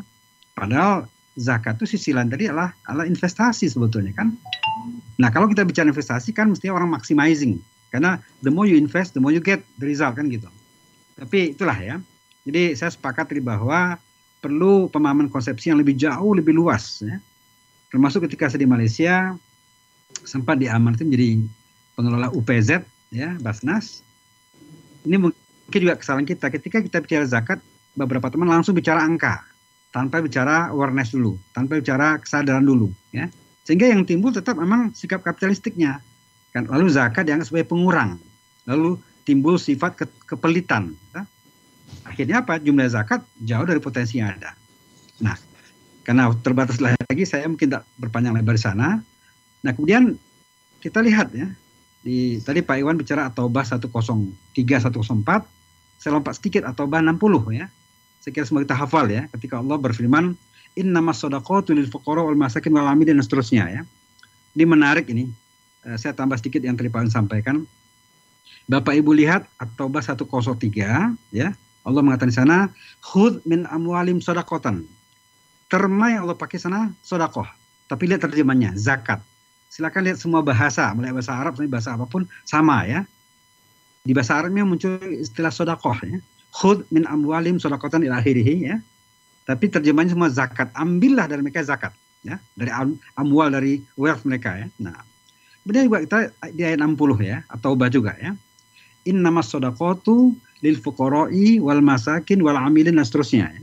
ya bahwa lagi-lagi kita lihat terma yang Allah pakai sini sodakoh innama sodakotu sesungguhnya sedekah sedekah itu tapi terjemahan yang ada di semua Quran yang ada yang kita lihat di dunia ini menyebut itu zakat maka kalau Bapak Ibu mungkin pernah baca Al-Qardawi beliau berpendapat antara lain kalau salah diikuti Wahbah uh, bahwa istilah ini interchangeable ya. Karena di Quran kita tahu istilah zakat ya, istilah infak ini 261 yang pakai istilah infak ya. Uh, Mastuladin infikuna infak ya. Lalu ada istilah zakat dan sodakoh ya. Tiga istilah yang saling berganti ya. Maka kalau kita ikuti pandangannya Kordowi misalnya, beliau mengatakan jangan terlalu ter apa ya? ter uh, ter terlalu terikat dengan istilah-istilah yang yang kemudian membuat kita uh, gagal paham secara utuh tadi ya. Nah, apalagi kemudian ada pendapat ini kan sunnah itu wajib dan sebagainya. Betul ya, zakat wajib, tapi infak kan atau sedekah yang sunat. Cuman tadi saya sepakat bahwa sebetulnya ya, kalau ada yang wajib, ada yang sunnah, kan kita mendahulukan wajib. Maka tradisi saya di kelas, mohon maaf saya sharing sedikit, saya mengajak teman-teman mahasiswa saya untuk mulai membayar wajib dulu, memenuhi wajib baru yang infak, baru yang sedekah apa yang sunnah gitu dan itu tidak besar ya. Ya, tadi saya hitung secara kasar ya. tadi Pak Ahim atau Pak Rizal melaporkan atau Budian bahkan uh, bahwa peserta kita 2.200 ya kalau salah ya. Saya yakin betul ya dengan hitung kasar saya bahwa masing-masing kita minimal bisa zakat bahkan sebulan sebetulnya ya. Uh, satu juta ya satu juta ya rata-rata ya. Maka kalau kita kali satu juta kali 2.200 sudah 2,2 miliar hari ini kalau terkumpulkan ya. Maka tidak aneh angkanya dari Basnas tadi bahwa kita bisa mengejar dua angka dua tiga tiga triliun triliun. Hanya masalah masalahnya bahwa bayar belum bayar zakat ya. Nah, nah di satu sisi satu sisi itu ada ada ada pemahaman yang belum belum memadai sehingga orang belum bayar zakat atau menunda bayar zakat ya atau membuat zakat ini minimal sehingga memang terjadi ketidaktenangan karena di Quran kalau kita lihat kan dua kata-kata yang Allah uh, katakan la ta, la takhuf wal tahzan. Jadi dua masalah manusia itu khauf, takut dan sedih. Padahal solusinya tadi zakat. Ketika kita zakat kita akan tidak takut, tidak akan tidak sedih. Nah, baik saya lompat sekarang. Uh, tadi sudah bicara soal ma'rifat zakat ya. Kemudian kita lihat bahwa di Quran tadi di surat Taubah 60 ada satu lembaga yang Allah sebut yang itu spesifik sekali ya. Ya, innamas sadaqatu lil fuqara'i wal masakin wal amilin ada lembaga amil. Lembaga amil kemudian sudah oleh Indonesia sudah diundang-undangkan bahkan sehingga muncul namanya BAZ dan LAZ. Badan Amil Zakat untuk yang kalau negara dan LAZ untuk yang non negara atau yang oleh swasta. Nah, hanya masalahnya lagi-lagi barangkali eh, kalau boleh saya berpendapat bahwa BAS dan LAS karena diangkat diambil angka 5 5T tadi dibandingkan 233 kan masih kecil sekali ya masih berapa? Nggak sampai dua persen atau lima persen lah paling tinggi ya. Nah, mungkin ada masalah di sisi kelembagaan. Nah, ini kita coba share ya. Jadi, pertama tadi saya sepakat, ada pemahaman yang perlu dibangun lebih baik lagi. Tapi kedua mungkin kita lihat sisi yang kedua, kelembagaan zakat ini ya. Kita bayangkan bahwa dalam urutan 8 asnaf itu Allah menaruh amil sebagai yang ketiga. Saya pernah diskusin Pak Pak Didin Hafidudin Prof itu dari kami kami sepakat bahwa betapa jadi urutan 8 ini bukan main-main. Makanya Pak Dodi nih kalau besok PSK Wakaf diperbaiki, mohon dibalik Pak Pak Dodi ya. Jadi di PSK Wakaf sekarang kan Amil yang terakhir Pak ya. ya padahal yang ketiga sebetulnya. Ya. Jadi eh, apa namanya? Amil itu kalau di Quran yang ketiga ya. Pertama fuqara wal masakin wal amilin. Nah ini dua makna paling enggak. Pertama bahwa penting ya Allah sampai menempatkan di posisi ketiga ya kedua perannya itu besar ya kenapa karena dia yang akan akan mengelola ya jadi ketika orang bayar zakat ada dua pilihan kan langsung pada asnaf ya atau lihat lembaga nah ya dua-duanya boleh ya tetapi banyak yang berpendapat bahwa lihat lembaga akan lebih efektif insya Allah nah cuman ya cuman mungkin lembaga ini yang selama ini perlu ada perbaikan-perbaikan. Kenapa? Saya masih menemukan ini fenomena yang saya tangkap. Ada beberapa tokoh yang saya coba tanyakan, Pak, kalau Bapak saya yakin sudah bayar zakat. Uh, uh, terus uh, boleh tahu Pak di mana? Oh, saya langsung ke, ke desa saya, ke kampung saya dan sebagainya. Ya. Dan saya tidak menemukan bahwa beliau nitip zakat di lembaga zakat yang dekat beliau. Ya. Sehingga dalam arti kata bahwa seolah-olah ya seolah-olah beliau belum terlalu percaya pada lembaga zakat. Bahkan di suatu tempat saya pernah diskusi juga itu uh, ada tradisi, mamanya masyarakat lebih percaya pada seorang tokoh di, di, di, di, di tempat itu dibanding lembaga zakat. Ya. Nah ini sisi lain lagi, sisi budaya ya, yang yang pernah saya katakan bahwa bukan kalau kalau lihat lembaga mesti itu lebih ada ada tatanan, lebih ada uh, apa namanya tanggung jawab dan sebagainya ya.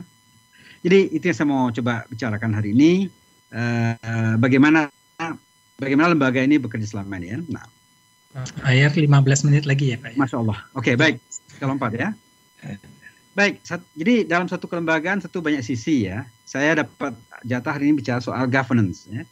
Uh, sebetulnya governance kalau saya lihat-lihat, saya pelajari banyak banyak apa nih sisihan dengan dengan dengan akuntansi.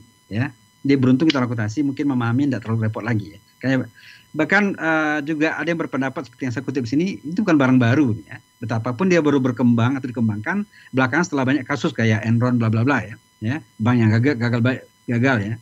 Nah, Uh, kalau lihat di sini mamanya secara sederhana saya kutip ya, governance is the process of decision making and the process by which decisions are implemented ya atau not implemented ya. Jadi proses pembuatan keputusan ya. Ya, apakah dibuat dia diputuskan apa tidak ya. Governance ini suatu yang sifatnya sangat luas sekali ya.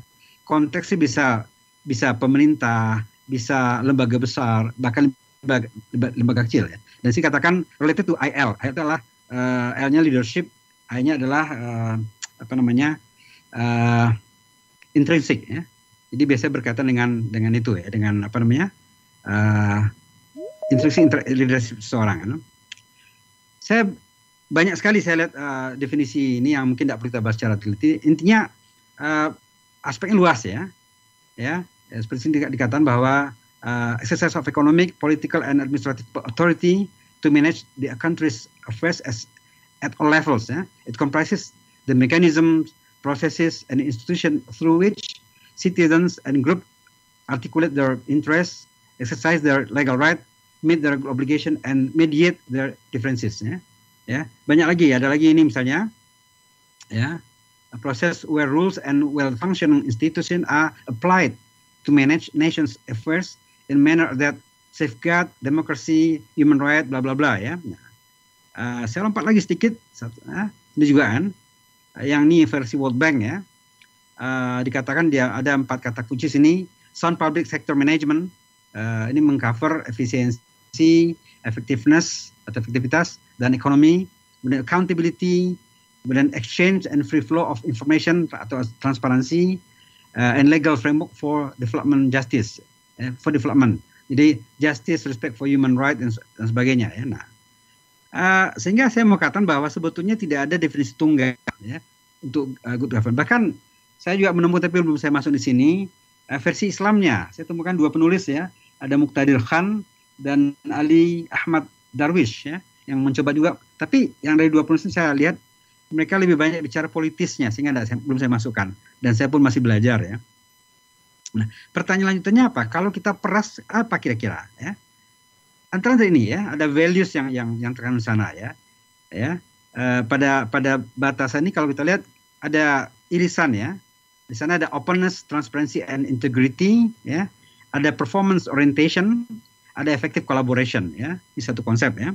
Kemudian juga ada yang berbeda lagi ya. Ini lebih banyak lagi ya ada berapa nih fighting corruption, legal uh, judicial, judicial reform, public administration dan seterusnya ya. Uh, sampai integrate integration of kambu ah, ini lagi ya, ini dia konsep lain ya. Kemudian juga ada yang lain lagi ya. Uh, sebentar. Ini sudah tadi. Ya, ini lagi ya. Uh, good governance apa? Ya, yang meliputi cover ini values-nya ya.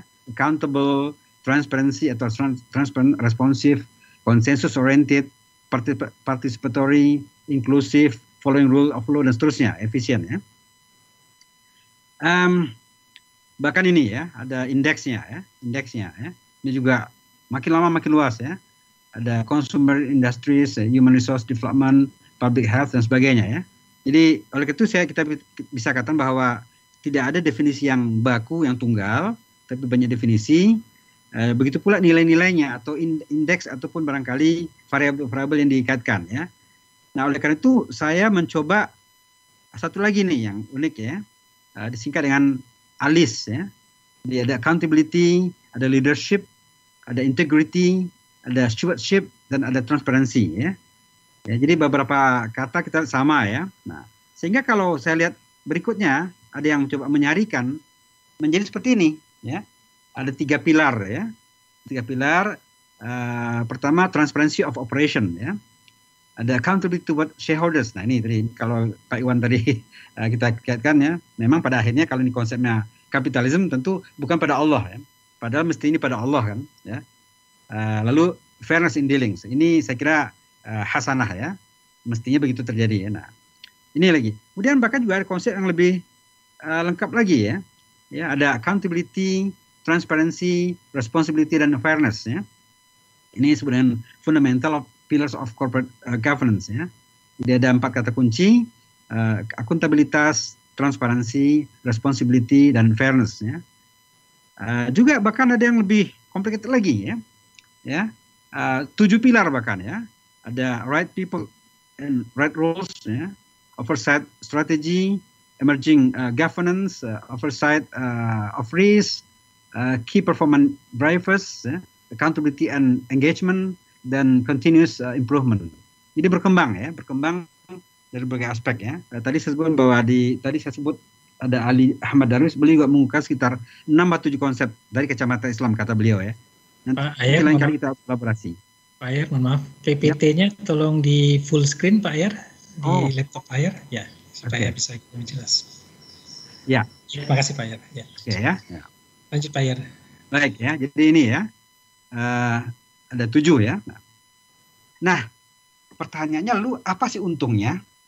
Ya, secara teori paling enggak dikatakan begini bahwa kalau kita apply eh, tata kelola yang baik tadi, maka ada tiga manfaat awal yang bisa kita dapatkan. Pertama, better oversight and accountability, ya. Jadi pengawasan dan dan apa ya accountability yang lebih bagus, improve risk making, ya. Karena memang sebagai manusia hidup kita tidak pernah lepas dalam making decision. Ya, dalam sehari kita bisa ribuan kali ya. Apakah hadir seminar ini panda, makan panda, puasa panda, itu kan semua decision. Nah, di sini akan terbantu proses kita membuat keputusan. Kemudian juga better compliance ya, kepatuhan akan meningkat dan tentu less konflik ya. Karena banyak hal terjadi itu kan usah jauh-jauh di jalan raya ya, kita lihat ya. Kenapa ada orang tabrakan? Karena nggak patuh pada aturan. Kemudian konflik muncul kan gitu kan. Nah ini akan bisa mengurangi eh, konflik ya. Dan ujungnya nanti adalah improve operational efficiency dan stimulate performance ya. Nah, ini ini yang yang akan dituju sebetulnya. Baik, saya mengambil mencoba versi yang anu aja, yang dari OJK dan atau BI ya, yang sebenarnya mereka buat jadi tarif ya.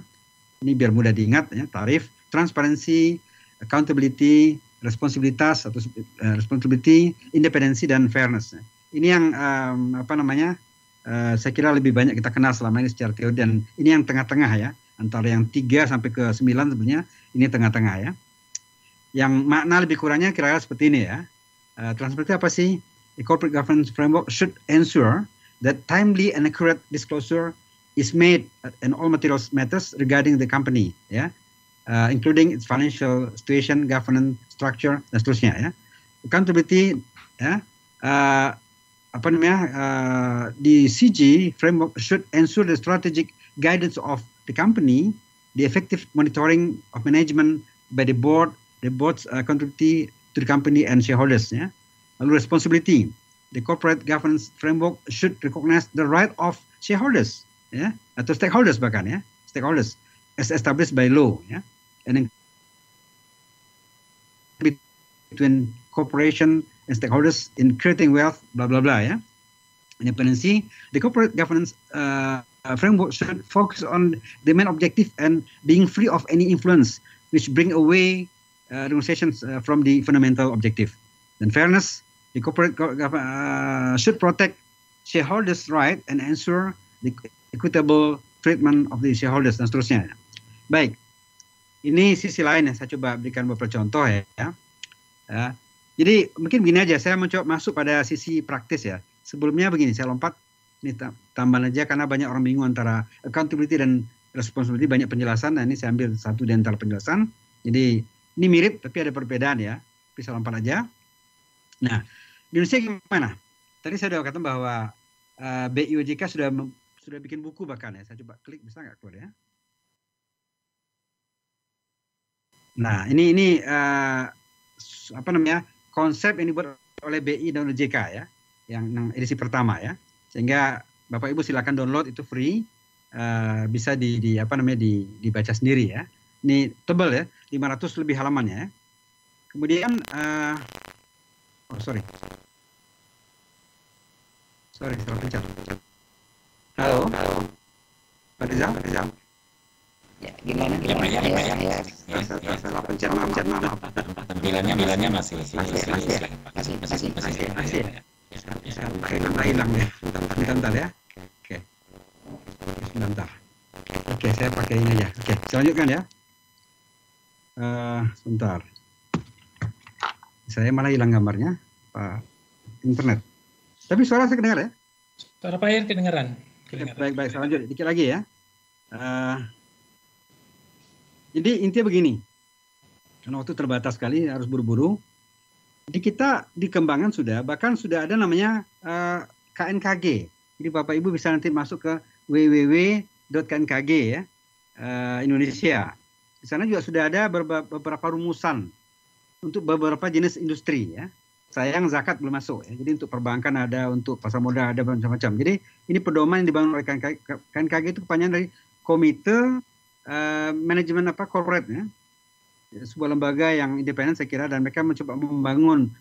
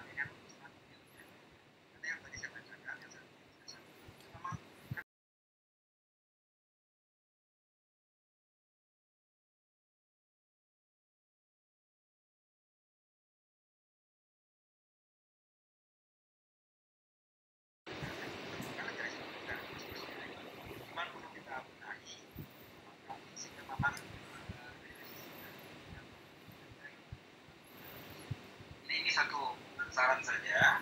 Karena memang belum ada ya. Eh, standar tata kelola yang yang kan khas ya, namanya eh, lembaga Islam. Bahkan pada suatu masjid zakat dan seterusnya. Jadi ini menjadi hal yang sifatnya niscaya wajib. Kalau kita ingin mengejar target bahwa Islam Muslim harus kaya harus makmur dan terlihat zakat tadi. Mungkin ada ada ada pemahaman lembaganya juga amanah ada aktivitas yang baik ada tata kelola yang baik maka dengan demikian insya Allah uh, tujuan kita tadi kesejahteraan umat lewat antara lain uh, kemiskinan akan menjadi kenyataan yang kita bisa lihat. Secara insya Allah mohon maaf ini karena buru-buru jadi agak tidak kebun bicaranya uh, tapi itu kira-kira yang harus disampaikan. HP saya mohon maaf nanti saya melihat diskusi insya Allah ya? Assalamualaikum warahmatullahi wabarakatuh. Jadi nama nama di di kelompok itu semuanya jadi angka sama huruf. Eh, tata kelola secara teori sama huruf semua. dalam pengalaman ayat tentang praktek di Indonesia Tapi nggak hilang. eh, memberikan pemahaman kepada kita bahwa eh, Coba tidak start. adanya tata kelola yang baik di itu sangat jadi Eh, karena itu adalah meningkatkan trust dari masyarakat. Nah, eh, memang sudah ada eh, standar kwitansi, standar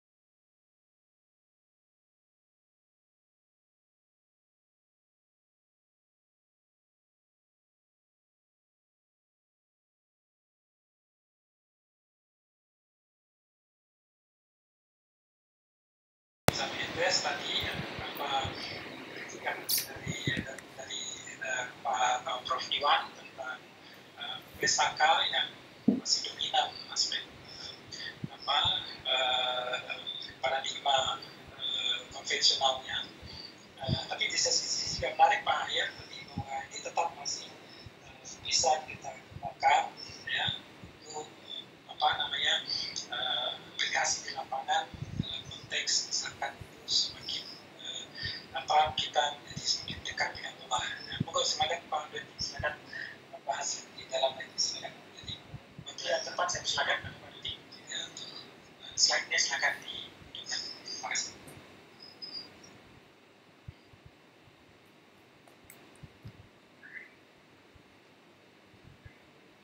Pak Dodi. Ya, uh, Assalamualaikum warahmatullahi wabarakatuh. Waalaikumsalam warahmatullahi wabarakatuh.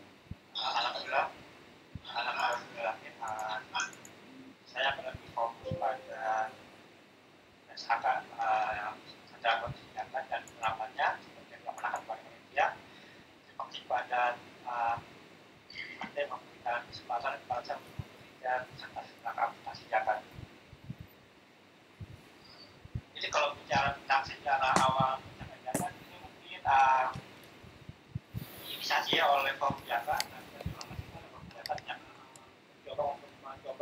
standar karena memang uh, berdasarkan jangka maksimal saat apa belum empat bulan dapat mengakomodir dari kesehatan.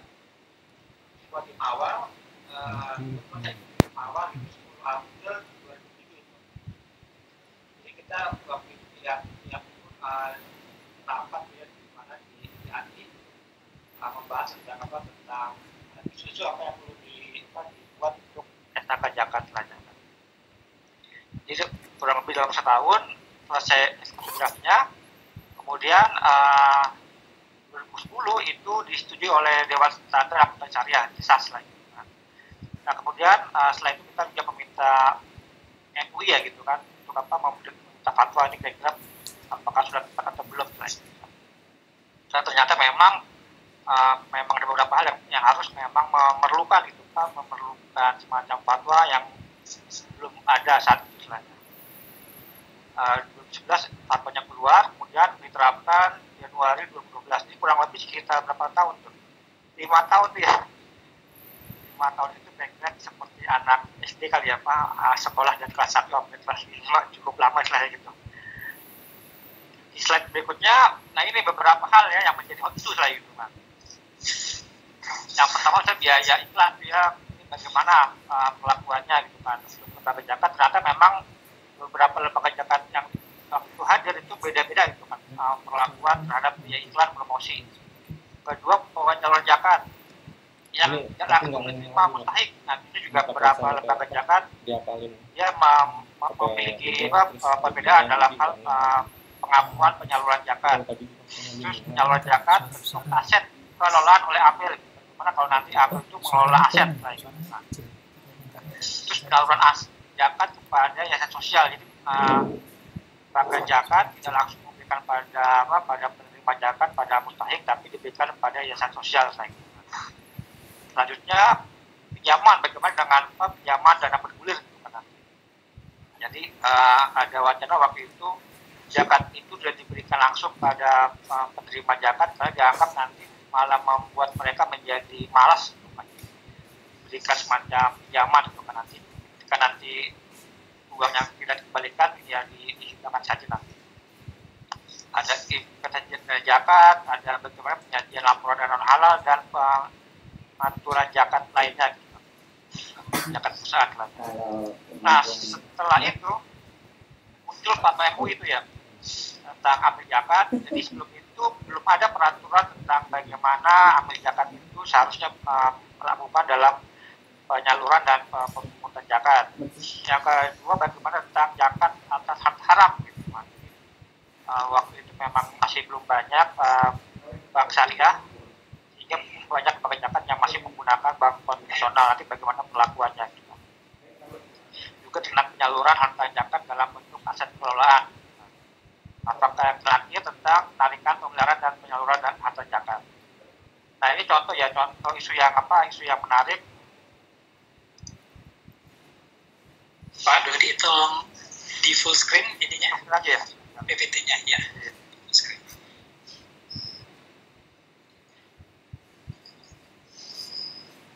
Ya bisa contoh nih ya, ya. penyaluran harta zakat dari April uh, pada hanya dap, belum dianggap sebagai penyaluran zakat sehingga harta zakat itu sampai pada mustahik. Jadi kalau uh, zakat itu disalurkan tapi belum diterima oleh mustahik itu belum dapat dianggap sebagai penyaluran. Nah waktu itu memang beberapa lembaga zakat mempunyai definisi yang berbeda terhadap penyaluran uh, zakat. Kemudian uh, pengambilan hak dana zakat yang menjadi hak bagian amil hanya dilakukan sekali. Jadi amil itu tidak boleh misalnya dari amil satu dan serahkan pada pihak uh, kedua. Nah, pihak kedua itu tidak boleh mengambil bagian amil, dia hanya boleh apa, mendapat bagian dari amil yang pertama gitu kan, dan hanya boleh mendapat dari apa biaya operasional dari apa dari selain uh, bagian ambil itu sendiri selain itu. Biasa dan lembaga yang melalui miskin boleh menerima zakat atas nama visa pilihan ini juga apa sudah ada fatwanya nanti. Nah waktu itu uh, kita uh, melakukan penelitian uh, mahasiswa saya itu kan penerapan pesaka uh, di Basnas tahun 2012. Ternyata kalau dibandingkan dengan Basnas, pesaka 45 dan pesaka 9 itu itu relatif juga hampir semua diterapkan oleh Basnas yang belum itu baru mengenai tentang ini apa uh, akumulasi penyusutan gitu Basnas waktu itu belum melakukan akumulasi penyusutan terhadap aset stafnya gitu.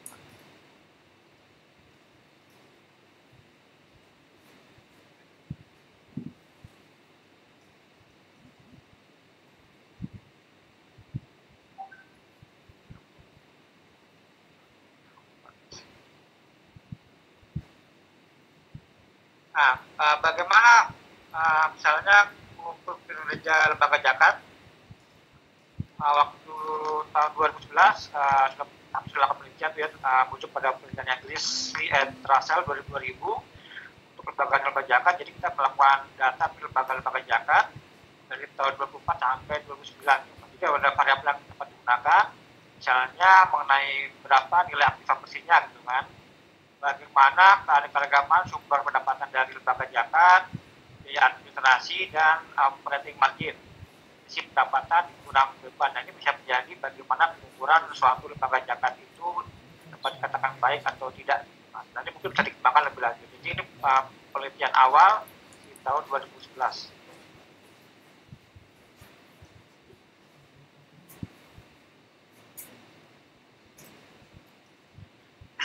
Pada tahun 2015 uh, kami melakukan uh, semacam uh, dapat hibah ya hibah pengabdian masyarakat. Jadi waktu itu uh, kami membuat akhirnya membuat pedoman ya pedoman amputasi lembaga zakat itu di tahun 2015 dengan Ibu Siti Hayati. Ini bisa di download di link link yang di, di, di sini.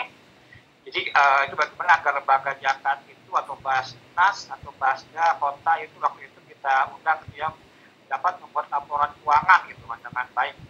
Juga memang ada beberapa lembaga yang pas nas kota dan las uh, yang belum terdaftar kita undang beberapa agar dapat membuat laporan keuangan. Jadi ada masih terdapat perbedaan waktu itu. Dana non syariah masuk masih masuk dalam laporan posisi keuangan itu juga menjadi isu sekarang bagaimana agar kalau kita masuk pada masyarakat zakat untuk dana non syariah itu memang uh, seharusnya tidak masuk dalam laporan posisi keuangan. Yang kedua, masih ada lembaga zakat yang melakukan pembagian dana terikat dan dana tidak terikat itu masih muncul pada Pasaka 45. Yang ketiga, pengelompokan penyaluran tidak sesuai dengan laporan asakir dari beberapa lembaga zakat yang dalam penyaluran tidak melakukan pengelompokan terhadap delapan asak tersebut. Yang keempat, saluran tidak tidak sesuai dengan pesaka jadi beberapa lembaga zakat memang kalau kita lihat masih uh, tidak dipisahkan dia untuk apa saldo dana masih masih digabung. Yang kelima ini mungkin menjadi isu yang menarik karena dengan adanya lembaga wakaf ya misalkan wakaf ada beberapa lembaga zakat yang masih bertindak sebagai uh, wakif gitu sebagai lembaga wakaf uh, karena ini nanti bagaimana dalam hal pencatatannya nanti.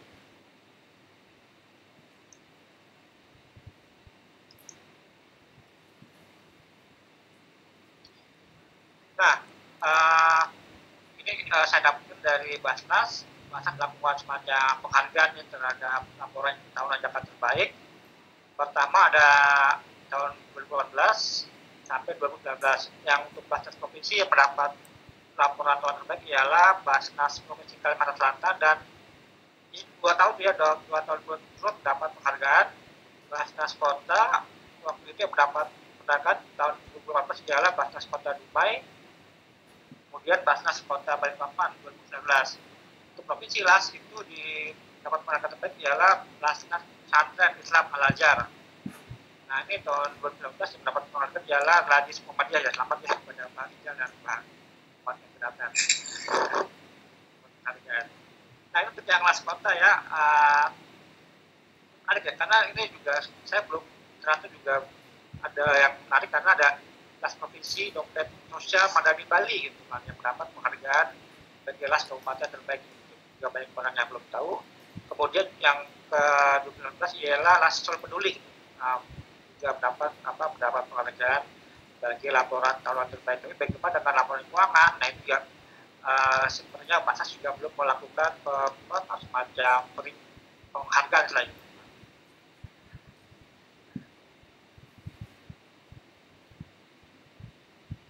saya balik ya jadi kalau saya uh, atau contoh dalam beberapa website ya.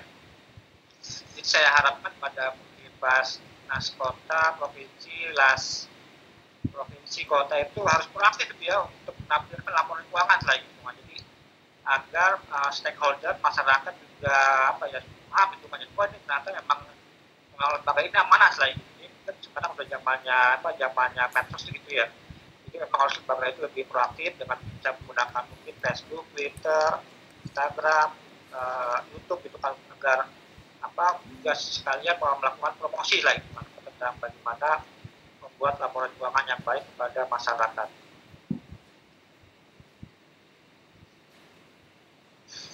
Nah ini eh, isu akuntabilitas laporan keuangan OPJ ya, Organisasi Pengelola Zakat.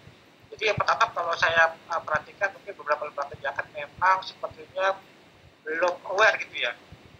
Jadi memang yang pertama persiapkan tim akuntansi untuk membuat laporan akuntansi software. Jadi ketika untuk lembaga zakat atau basnas kota atau provinsi itu harus fokus dalam mempersiapkan tim gitu ya akuntansi dengan yang menyiapkan software akuntansi karena ini memang penting jadi jangan sampai hal ini tidak diutamakan gitu banyak beberapa saya lihat fokus kepada apa mungkin uh, uh, penarik zakat atau penyaluran tapi untuk akuntansinya belum disiapkan mungkin karena memang memang belum disiapkan dari awal coba upload laporan keuangan sederhana ke website lembaga zakat atau basnas atau lembaga zakatnya itu harus segera ini apa melakukan semacam pelaporan ya keuangan sederhana ke website negara pada dapat diketahui oleh masyarakat. Nah, yang ketiga gunakan media sosial untuk promosi laporan keuangan lembaga zakat ini memang ini yang yang memang uh, belum banyak ya lembaga lembaga zakat yang saya amati itu dapat promosi laporan keuangan menggunakan media sosial saya. Membuat laporan keuangan dengan baik baru dapat dikatakan responsible. Jadi ketika lembaga zakat membuat laporan keuangan itu ya baru dapat dikatakan ya bertanggung jawab. Namun melaporkan ke publik baru dapat dikatakan akuntabel. Selain itu responsible bagian dari akuntabel. Itu kan itu merupakan hal penting ke depan yang perlu di, apa, di, diperhatikan. Jadi memang uh, ini penelitian saya yang agar apa beberapa lembaga-lembaga nirlaba atau zakat, wakaf dan dan lainnya itu memang harus memang uh, lebih berani itu kan melaporkan keuangan itu. Karena memang memang uang itu memang eh, apa memang miliknya masyarakat gitu kan. Dan diharapkan dengan adanya pelaporan yang baik maka akan semakin banyak trust itu ya apa masyarakat kepada apa kepada lembaga zakat ini lah.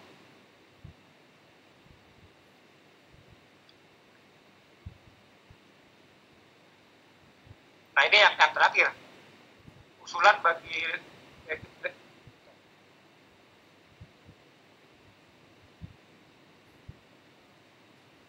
usulan bagi regulator dan para pengawas pertama membuat template laporan keuangan lembaga zakat sehingga tidak perlu jadi apa ya walaupun sudah ada pesaka zakat ternyata beberapa lembaga zakat otoritas kota provinsi itu memang tetap masih ada beberapa beda dikit lah gitu dalam format apa pelaporan jadi memang nanti untuk menggunakan juga bagi pengguna apa pelaporan atau yang menggunakan peneliti dan lainnya agar apa agar tidak apa tidak terlalu beda gitu. Kedua melakukan kompilasi dari pelaporan keuangan seluruh basnas dan las yang dilaporkan secara online nah ini juga jadi PR ya uh, bagaimana agar seluruh laporan keuangan las atau basis itu dilaporkan secara online karena agar agar dapat diketahui berapa jumlah dan kita dapat mengetahui bagaimana perbandingan lembaga yang yang satu dengan yang lainnya. Jadi juga, juga perlu apa semacam ada pemberitahuan kepada masyarakat, oh ini, ini lembaga zakat yang yang yang baik gitu kan, ini yang yang, yang belum belum baik gitu ya kan, agar juga semacam ada pengawasan. Yang ketiga memberikan sanksi yang tegas pada petap dari dari basnas dan las yang tidak membuat laporan keuangan. Juga ini juga memang perlu apa lebih proaktif itu kan bagi bagi regulator dan badan pengawas lembaga zakat.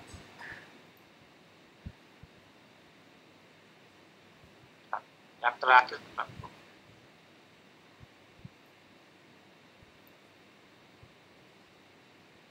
yang terakhir nah ini.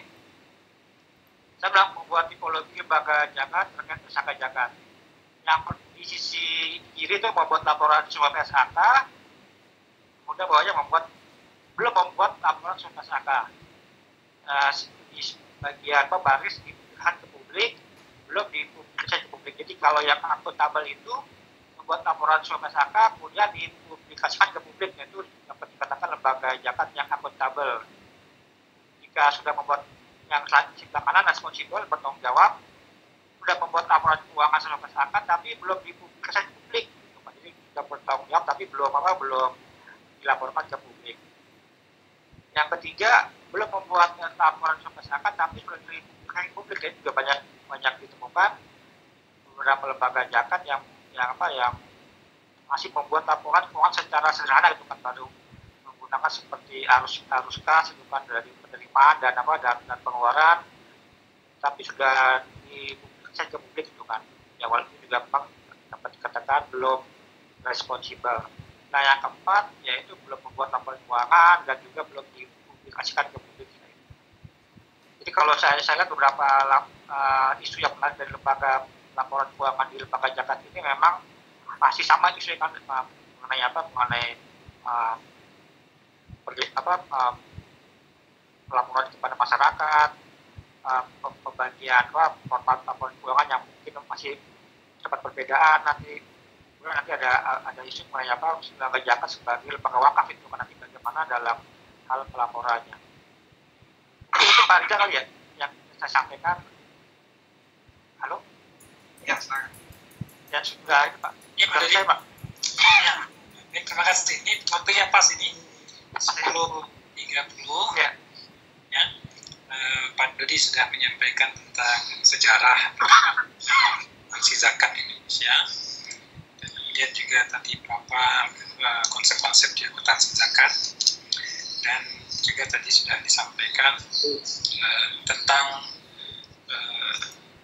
apa praktek di lapangan yang itu masih cukup banyak yang belum sesuai dengan PSAK 109 itu adalah PSAK zakat. Saya langsung membuka kesempatan kepada audiens untuk menyampaikan pertanyaan.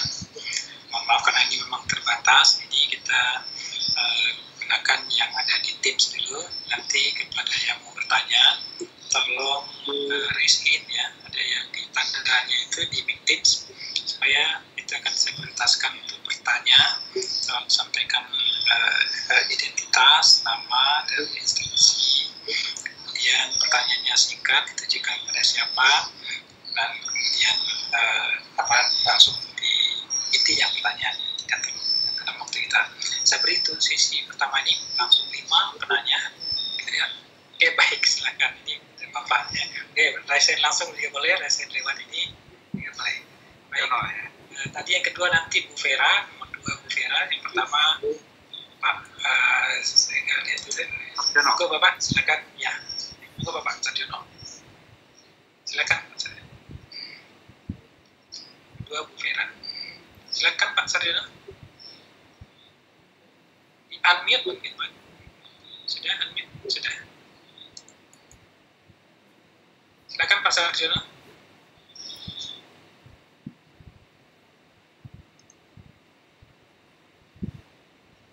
Terdengar suaranya? Sudah, sekarang sudah. Silakan Pak Sarjono. Singkat Pak ya. Ada Sudah suaranya bicara? Oh, oke. Sudah. Itu sudah bicara? Nah, Sudah. Hilang-hilang. Mohon Maaf. Suara Pak Sarjono hilang-hilang timbul. Oke. Atau kita lihat dulu Bu, Vera, silakan Bu Vera uh, Cahyani. Ya. Saya? Silakan Bu Vera. Ya, Assalamualaikum warahmatullahi wabarakatuh. Eh, terima kasih, terima kasih atas kesempatannya. Eh, saya ke Pak Dodi dan ke Pak hmm, Pak Ahyar. Mudah-mudahan. Ya, saya Vera Cahyani dari STI Malang Suara, Malang Pak. Pak Iwan, eh, Prof Iwan adalah dulu dosen saya waktu di akuntansi UB. Tapi saya udah udah angkatan lama sekali Pak Iwan, jadi Pak Iwan pasti insya Allah lupa kayaknya dengan saya. Eh, eh, pertama, terima kasih banyak kesempatannya. Pertama, saya langsung aja sebenarnya. Topiknya menarik, Pak. Eh, melihat potensi zakat tadi, potensi zakat dengan zakat yang sudah terkumpul, itu diskrepensinya itu uh, terlalu besar. Uh, potensi 200T terkumpul sekitar 8,1 untuk tahun 2018, 2017,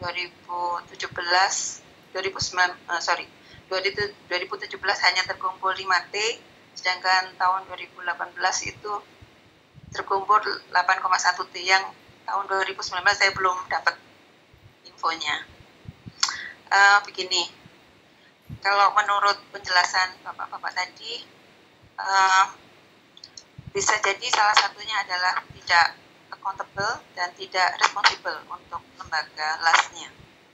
Tapi di sisi lain, tadi bapak juga menyampaikan bahwa uh, ada uh, yang membayar langsung jadi tidak melalui lembaga zakat.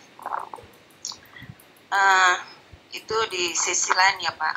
Terus kemudian yang berikutnya adalah yang pertanyaan saya itu sebenarnya begini, uh, apakah hanya karena tidak responsibel dan tidak accountable saja sehingga uh, orang yang wajib zakat itu menyalurkan langsung, uh, kemudian di samping yang tadi Pak Iwan sampaikan tadi, Pak Iwan tadi kan sampaikan mungkin belum tergerak hatinya karena hanya melihat angka-angka. Jadi zakat itu uh, sebagian umat Muslim tidak um, apa namanya tidak sadar bahwa zakat itu memang wajib gitu.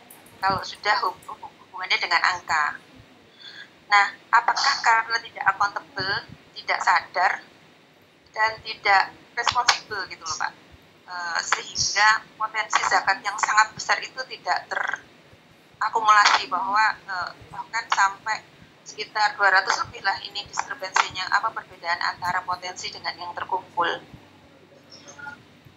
uh, demikian Pak untuk sementara terima kasih atas kesempatannya Assalamualaikum warahmatullahi wabarakatuh Waalaikumsalam terima kasih Bu Fitna yang lain Halo Assalamualaikum saya bisa bertanya ya. Pak Nah, ini kedua ini ada Bapak Monggo Pak yang tadi ngacung saya kelihatan. Yang ngacung dulu. Ibu Halo. kalau mau ini Bapak dulu ya. Kalau yang mau tanya Ibu di ngacung Bu biar kelihatan. Monggo Bapak maju Pak, silakan ya. Ya. Monggo Pak. Amin tadi. Ya, ini saya adalah uh, salah satu juga saya tertarik dengan zakat karena tema disertasi saya juga terkait dengan zakat. Jadi persoalan yang persoalan yang muncul di dalam zakat itu. Mohon maaf, mohon diperkenalkan dirinya Bapak. Oh ya, nama saya Amin Wahyudi, saya dari IAIN Ponorogo, Fakultas Ekonomi Bisnis IAIN Ponorogo. Ketepatan saya studi S3 di IAIN di Universitas Nambal Surabaya, mengambil tema tentang akuntabilitas zakat era revolusi 4.0. Dari uh, kajian yang saya peroleh di lapangan itu memang persoalan zakat bukan hanya pada aspek kesadaran, bukan pada aspek uh, ketauhidan, tapi juga praktek di lapangan masih banyak bermasalah, yaitu terkait akuntabilitas. Banyak lembaga zakat itu tidak menampilkan laporan keuangannya. Nah, ini yang menjadi uh, faktor ketidakpuasan masyarakat terhadap dan tingkat kepercayaan masyarakat kepada lembaga zakat. Nah, apakah mereka membayar tidak membayar zakat? Mereka itu membayar zakat. Hanya saja mereka membayar zakat kepada langsung kepada tetangganya, kepada saudaranya, atau kepada mereka yang ada di sekitarnya itu. Jadi maksud saya tidak benar atau minimal ada tanda tanya lah. Kalaulah mereka dikatakan bahwa tidak minimnya realisasi zakat itu terus kemudian umat Islam itu tidak membayar zakat menurut saya tidak sepenuhnya benar. Karena hanya mereka membayar zakat tapi tidak kepada lembaga. Itu yang mungkin. Nah mengapa mereka tidak membayar kepada lembaga? Karena trust kepercayaan kepada lembaga itu masih kurang satu persoalan zakat untuk membangun trust itu kelembagaan yang lemah di dalam zakat perzakatan itu adalah kepengawasan. Perlu kita ingat bahwa zakat itu adalah dana umat. Sekali lagi zakat itu adalah umumnya lembaga zakat itu tahu banyak seperti perbankan itu ada pengawasnya, ada OJK-nya lah katakan tanda petik OJK yang aktif betul untuk melakukan pengawasan. Selama ini yang terjadi adalah tidak demikian. Pengawas itu hanya tanda petik, hanya simbolik sajalah. Mengaudit sepenuhnya juga tidak. Bahkan saya menjumpai, saya pernah bekerja di dalam perbankan yang namanya audit OJK itu betul-betul ditunggu. Terus kemudian betul-betul dicek ada waktunya sampai berhari-hari betul serius. Tapi kalau lembaga zakat itu seolah-olah hanya checklist kehadiran itu aja bahwa kemudian tanda tangan. Nah itulah kemudian barangkali merekomendasi forum ini bisa merekomendasikan agar ada muncul lembaga pengawasan zakat yang akuntabel juga. Kalau kita mau uh, meningkatkan trust masyarakat kepada lembaga zakat. Itu aja barangkali Assalamualaikum. Waalaikumsalam. Terima kasih banyak Pak Amin Wahyudi dari IAIN Ponorogo uh, Monggo. Yang lain kalau ada yang mau bertanya? Bisa saya Pak? Silakan Bu. Ya terima kasih. Assalamualaikum warahmatullahi wabarakatuh. Siap Salam. Salam sejahtera untuk kita semua. Uh, saya sangat tertarik tadi dengan uh, pemateri, tiga pemateri. Uh, ya maaf, maaf. Nama saya Haja Siti Hatijah SEMPD. Saya dosen SDKIP Pembangunan Indonesia Makassar. Dan kebetulan saat ini uh, kuliah uh, di Universitas Negeri Makassar, jurusan Pendidikan Ekonomi. Uh, saya uh, ingin uh, bertanya kepada ketiga pemateri karena tadi tidak ada yang diberikan contoh format untuk akuntansi eh, laporan pertanggungjawaban untuk eh. Karena kalau menurut saya yang saya ini bukan orang akuntansi Pak, kalau eh, dari pembicaraan tadi bahwa saya bisa mengambil kesimpulan bahwa eh, pembukuan atau akuntansi untuk eh, zakat itu sangat mudah, sangat simple. Karena eh, hanya menerima dari masyarakat, setelah itu menyalurkan Nah itu, apakah ada bentuk lain? Maaf ini Pak, karena saya bukan backgroundnya akuntansi. Yang kedua, apakah zakat itu kalau uh, masyarakat kita umat Islam itu berzakat, kita kan menyerahkan setelah itu kita tidak tahu digunakan untuk apa. Nah, apakah zakat itu disimpan, tidak disalurkan, tidak langsung disalurkan? Dan tadi juga ada dikatakan bahwa untuk bisa uh, apa membeli bank atau apa Sementara masyarakat ini kan kita ini menyumbang untuk uh, kepentingan uh, masyarakat lain dan itu untuk amal kita. Nah kalau uh, zakat itu disimpan kan berarti tidak uh, tidak ada uh, umpan baliknya untuk kita dan uh, masyarakat. Uh, barangkali itu Pak dan eh, satu lagi barangkali ini uh, perlu ada pemahaman karena jujur saja di tempat saya itu belum ada pemotongan untuk uh, langsung dari uh, kampus sebaiknya barangkali uh, forum ini juga bisa memfasilitasi bahwa semua kampus-kampus itu secara otomatis uh, memotong zakat fitrah untuk uh, para dosennya baik yang DPK maupun yang yayasan barangkali itu saran saya dan pertanyaan. Makasih wabillahi taufiq wal hidayah. Wassalamualaikum warahmatullahi wabarakatuh. Waalaikumsalam warahmatullahi wabarakatuh. Terima kasih Bu Atika. Ada lagi Bapak Ibu yang bertanya? Kalau tidak ada, baik eh, langsung kita persilakan pada eh, pembicara dan uh, ikut dari tadi aja sama Pak Prof Iwan, kemudian Pak Ahyar, kemudian Pak Dodi. Nah, tadi ada tiga dari Vera, dari Pak Amin, dan dari Bu Hadijah. Silakan Pak uh, Iwan. Tadi ada pertanyaan memang buat semua contoh format seperti apa. Kemudian uh, apakah kenapa penyebab ini hanya memang karena faktor akuntabilitas uh, dan responsibilitas yang kurang dan pemahaman ya, kesadaran yang kurang ada faktor lain juga. Ya prinsip-prinsip juga. Silakan dulu Pak. Uh, Prof. Iwan yang relevan silakan. Di address ya. Uh, baik. Baik terima kasih. Uh, Ibu Vera kemudian saya udah agak lupa ini merah gitu ya. Lama agak ketemu. Kemudian Bapak Imam dan Pak Ibu Siti Hadijah ya dari pasar oke baik. Nah, mudah-mudahan eh, saya tidak salah tangkap gitu ya. Atau apa yang saya sampaikan ini sesuai dengan yang saya pahami. Eh, memang uh, kesadaran uh, muzaki artinya orang yang wajib memberikan zakat itu bisa jadi seperti yang saya hipotesiskan tadi kebanyakan dari kita atau mereka itu belum menyadari bahwa zakat itu sebetulnya bukan hak kita. Jadi sekarang saya tegaskan, eh, zakat itu sebetulnya adalah haknya orang lain.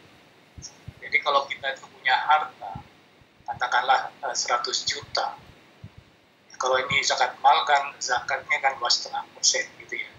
Nah, jadi dua setengah juta itu bukan kita nyumbang, ya mohon maaf gitu ya. Kita bukan nyumbang kepada pihak lain, bukan itu. Itu ya ini pada level syariah gitu ya. Itu sebetulnya adalah memang haknya orang lain gitu. Bukan punya kita. Ya. Karena karena bukan punya kita ya memang kita harus berikan kepada yang hak. Siapa yang hak itu? Yang hak itu ya delapan astar yang sudah diterangkan di Al-Quran gitu. Nah, jadi saya tegaskan bahwa zakat itu bukan milik kita. Dalam pengertian syariat ini ya. Jadi kalau tadi duit 100 juta, zakat mal itu dua setengah persen, maka dua setengah juta itu bukan hak kita, itu adalah haknya 8 asnaf. Jadi memang harus kita sampaikan kepada mereka, ini milik Anda yang nempel ke saya. Nah, jadi kalau saya ini tidak memberikan dua setengah juta itu kepada delapan asnaf itu berarti saya ini Iwan ini telah mencuri mohon maaf saya telah mencuri haknya mereka itu itu yang perlu kita sadar kemudian juga kita itu tidak menyumbang kita tidak menyumbang delapan asnaf bukan itu memang haknya mereka jadi itu jadi kesadaran itu bisa jadi memang kalau kita mau berbicara tentang angka, sehingga angka penerimaan zakat yang dikelola oleh amil itu, itu tidak seperti yang diharapkan. Tapi betul seperti yang dikatakan oleh Pak Imam tadi itu, bahwa tidak semua masyarakat gitu ya, e, menyalurkan zakat itu kepada lembaga resmi. Tapi kebanyakan mereka itu langsung disalurkan kepada e, ya fakir, kaum yang miskin, ya, mereka yang berada dalam kesulitan, ya, mu'alaf dan seterusnya, ya, dalam asnaf itu. Sehingga tidak terikot, tidak tercatat. Lembaga zakat aja di Indonesia itu banyak, gitu ya. Bukan hanya yang resmi, Basnas misalkan, gitu ya.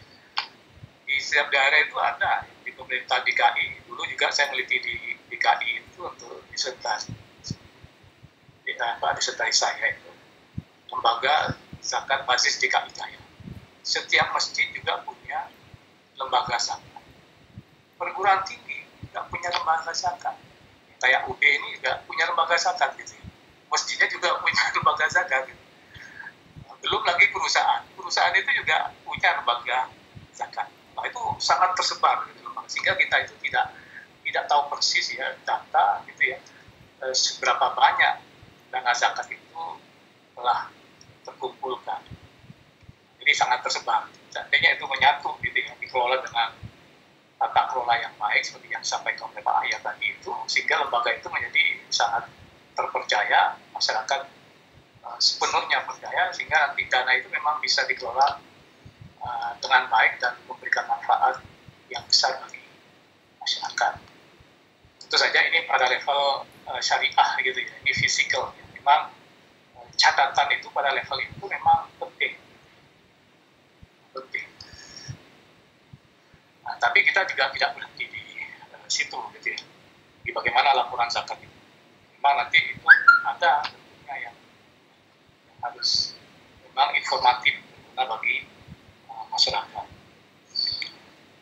Nah, kemudian juga gitu ya, uh, kepercayaan masyarakat zakit terhadap lembaga apakah betul itu setelah zakat itu di, diserahkan kepada lembaga zakat, apakah dana zakat itu kemudian disimpan atau disalurkan?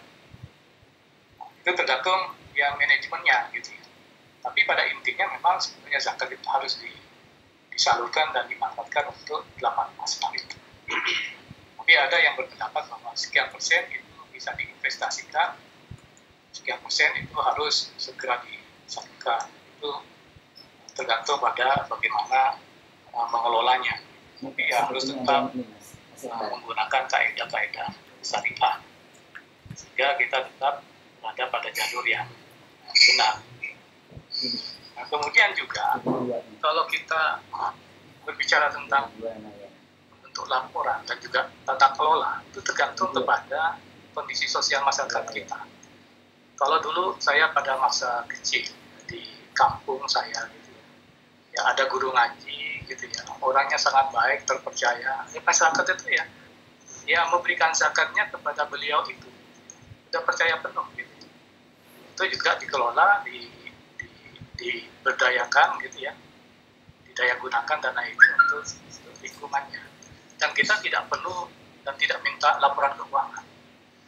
Dan juga tidak tidak minta untuk ya mengauditnya gitu ya.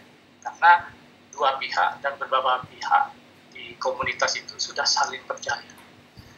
Nah sekarang kita juga perlu berpikir sekarang itu kenapa kita kok perlu mengaudit? Kenapa kita itu harus membuat laporan keuangan karena bisa jadi gitu ya antar pihak itu sudah uh, saling curiga sudah saling tidak percaya jadi, nah kalau masyarakatnya semacam itu, memang diperlukan harus membuat laporan keuangan yang baik dan nah, sistemnya harus baik, kemudian juga harus diaudit sehingga lembaga tadi itu menjadi terpercaya. Jadi nah, semacam itu juga, gitu ya. Saya dengar sekarang itu sudah ada semacam pedoman akuntansi untuk pondok pesantren. Nah, kalau uh, pedoman akuntansinya itu dibangun uh, standarnya dibangun berdasarkan pada mindset barat kapitalis. Nah, nanti kalau dipraktekkan ke masyarakat uh, pondok pesantren yang tradisional gitu ya, dengan cara begitu nanti apakah tidak akhirnya merusak tatanan sosial, budaya, ekonomi yang ada di situ? Kecuali kalau mungkin katakanlah pondoknya itu sudah pondok pesantren modern gitu ya. Itu bisa. Jadi bentuk laporan keuangan zakat atau standar akuntansi zakat itu mestinya harus ya mempelajari ya konteks sosial budaya dari masyarakat yang akan mempraktikkan itu. Tidak semata-mata buat standar yang kemudian berlaku universal nah itu yang perlu kita perhatikan. Ya tidak pukul rata kemudian eh, pokoknya ini standar gitu ya. Harus bisa dipraktikkan semua nggak bisa ya. Karena ya setiap komunitas itu memiliki uh, budaya yang yang berbeda. Jadi kalau sudah tingkat kepercayaan itu sudah penuh dan tinggi laporan keuangan itu sudah tidak diperlukan lagi sudah saling percaya dan itu pengawasannya itu adalah pengawasan langsung dari Allah itu. Itu tadi level yang uh, berikutnya. Tentu saja saya tidak menolak gitu ya. Pada level syariat itu harus ada akuntansi zakatnya ada laporannya gitu ya. Ada harus ada sistem pendalian yang baik. Kemudian juga harus ada ya auditnya. Supaya masyarakat itu uh, bisa percaya gitu.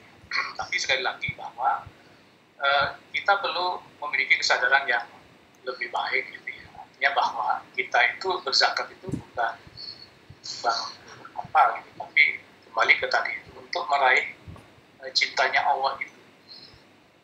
Jadi Allah itu sebenarnya sudah menyebarkan uh, cintanya tapi kita nggak bisa nangkep karena ketidaktahuan atau tingkat kesadaran kita belum sampai di situ.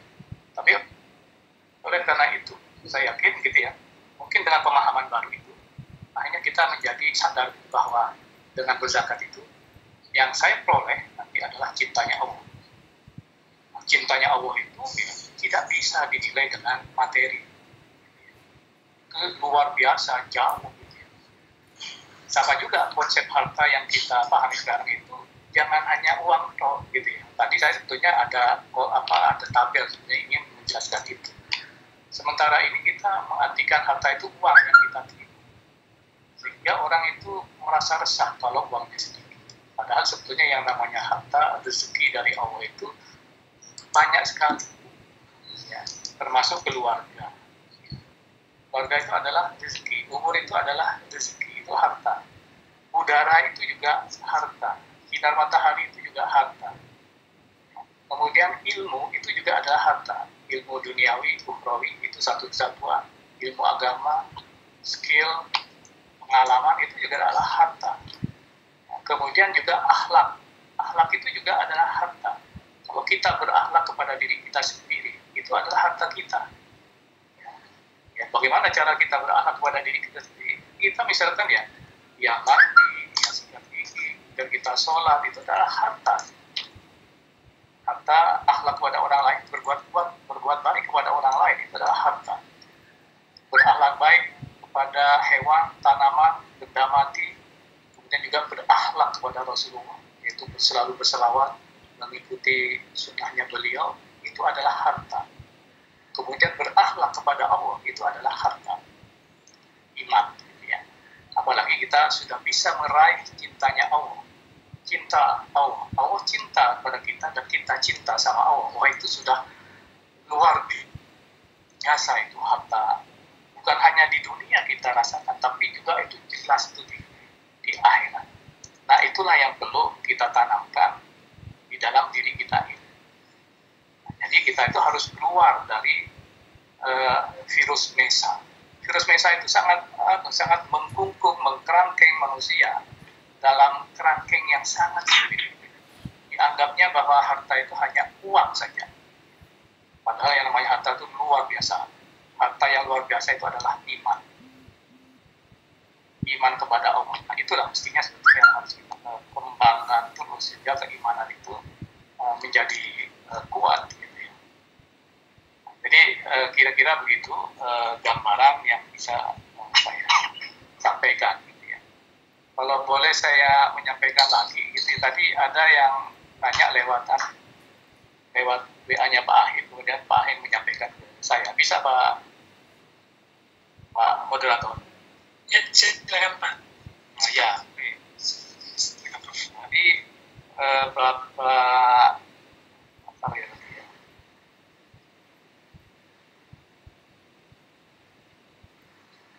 Bapak Direktur Akademi Akuntansi KPN.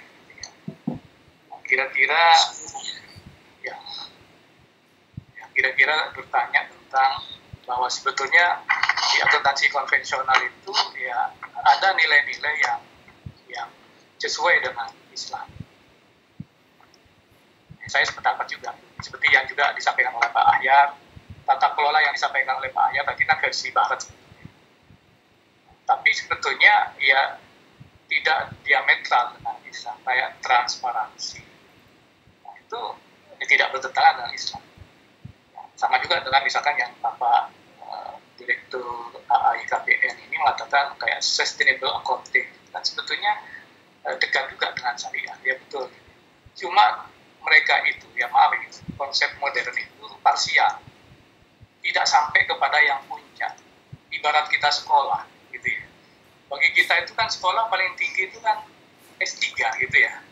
Nah itu kalau konsep-konsep barat itu hanya sampai pada SD gitu. Kan kita tidak menyalahkan sekolah SD itu tidak salah itu. Sekolah SD itu bukan sesat. Cuma kurang ya. belum sampai kepada tingkat yang paling tinggi. mestinya kalau sekolah itu jangan sampai SD yang mestinya sampai ke S3 memang betul gitu ya uh, ada unsur etika di akuntansi di sana tapi saya juga sebagai dosen pengajar etika bisnis dan profesi ciri-ciri etika modern itu ya sampai di dunia ini saja. Kalau versi yang saya pahami, versi Islam, saya juga mengembangkan itu. Etika yang paling puncak menurut Islam itu adalah takwa. Takwa itu apa? Mengikuti kehendak Allah.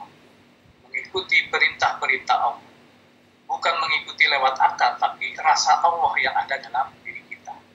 Itu yang saya katakan tadi itu adalah rasa ilahi rasa ilahi itu adalah kesadaran ketuhanan kita atau dengan bahasa Islam itu adalah ihsan dengan ihsan itu kita merasakan perintah Allah ya Wan kamu begini saya kerja Wah kamu jangan begitu, saya hindari. Itu rasa Allah itu ada itu. Nah itu etika yang sebenar-benarnya etika itu adalah mengikuti perintah Allah. Makanya Al-Quran itu mengatakan manusia yang paling mulia di sisi Allah itu adalah manusia yang bertakwa, yaitu tunduk patuh pada perintahnya Allah. Nah, kalau etika barat tidak sampai di situ, etikanya hanya sampai pada akal. Kalau ada peraturan dilarang masuk, akalnya berbicara, oh saya dilarang masuk, berarti saya tidak boleh masuk, ya sudah tidak masuk. Nah, itu memang bagus itu, tapi masih pada level akal. Artinya apa? Bahwa orang tadi itu diperintah akalnya untuk tidak masuk. Itu tadi itu. Nah, tapi kalau Islam, tapi Islam yang kafah maksudnya ya, yang lengkap gitu ya. Nah itu sampai gitu, hanya Allah saja yang bisa merintah dia bukan pikiran manusia yang bisa memerintah, bukan nafsu manusia yang memerintah manusia itu, bukan uh, rasa hati, tapi rasa ilahi yang hanya memerintah manusia tadi. Dan manusia tadi itu hanya tunduk patuh secara total pada kehendak Allah yang dirasakan melalui rasa ilahinya itu. Jadi sekali lagi, uh, pemikiran Barat itu tidak sepenuhnya bertentangan, tapi tidak lengkap dan tidak sampai kepada katakanlah makrifatullah apalagi tidak sampai kepada uh, hakikat. Kira-kira begitu. Nah, baik saya pikir begitu uh, mudah-mudahan ya, bisa kita pahami bersama. Terima kasih Pak Riza.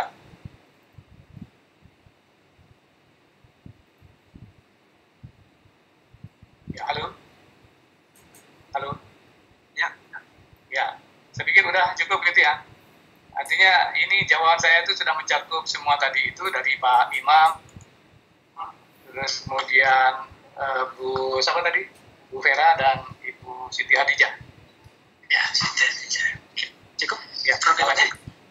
Ya, terima kasih banyak Prof. Iwan uh, respon terhadap pertanyaan yang datang.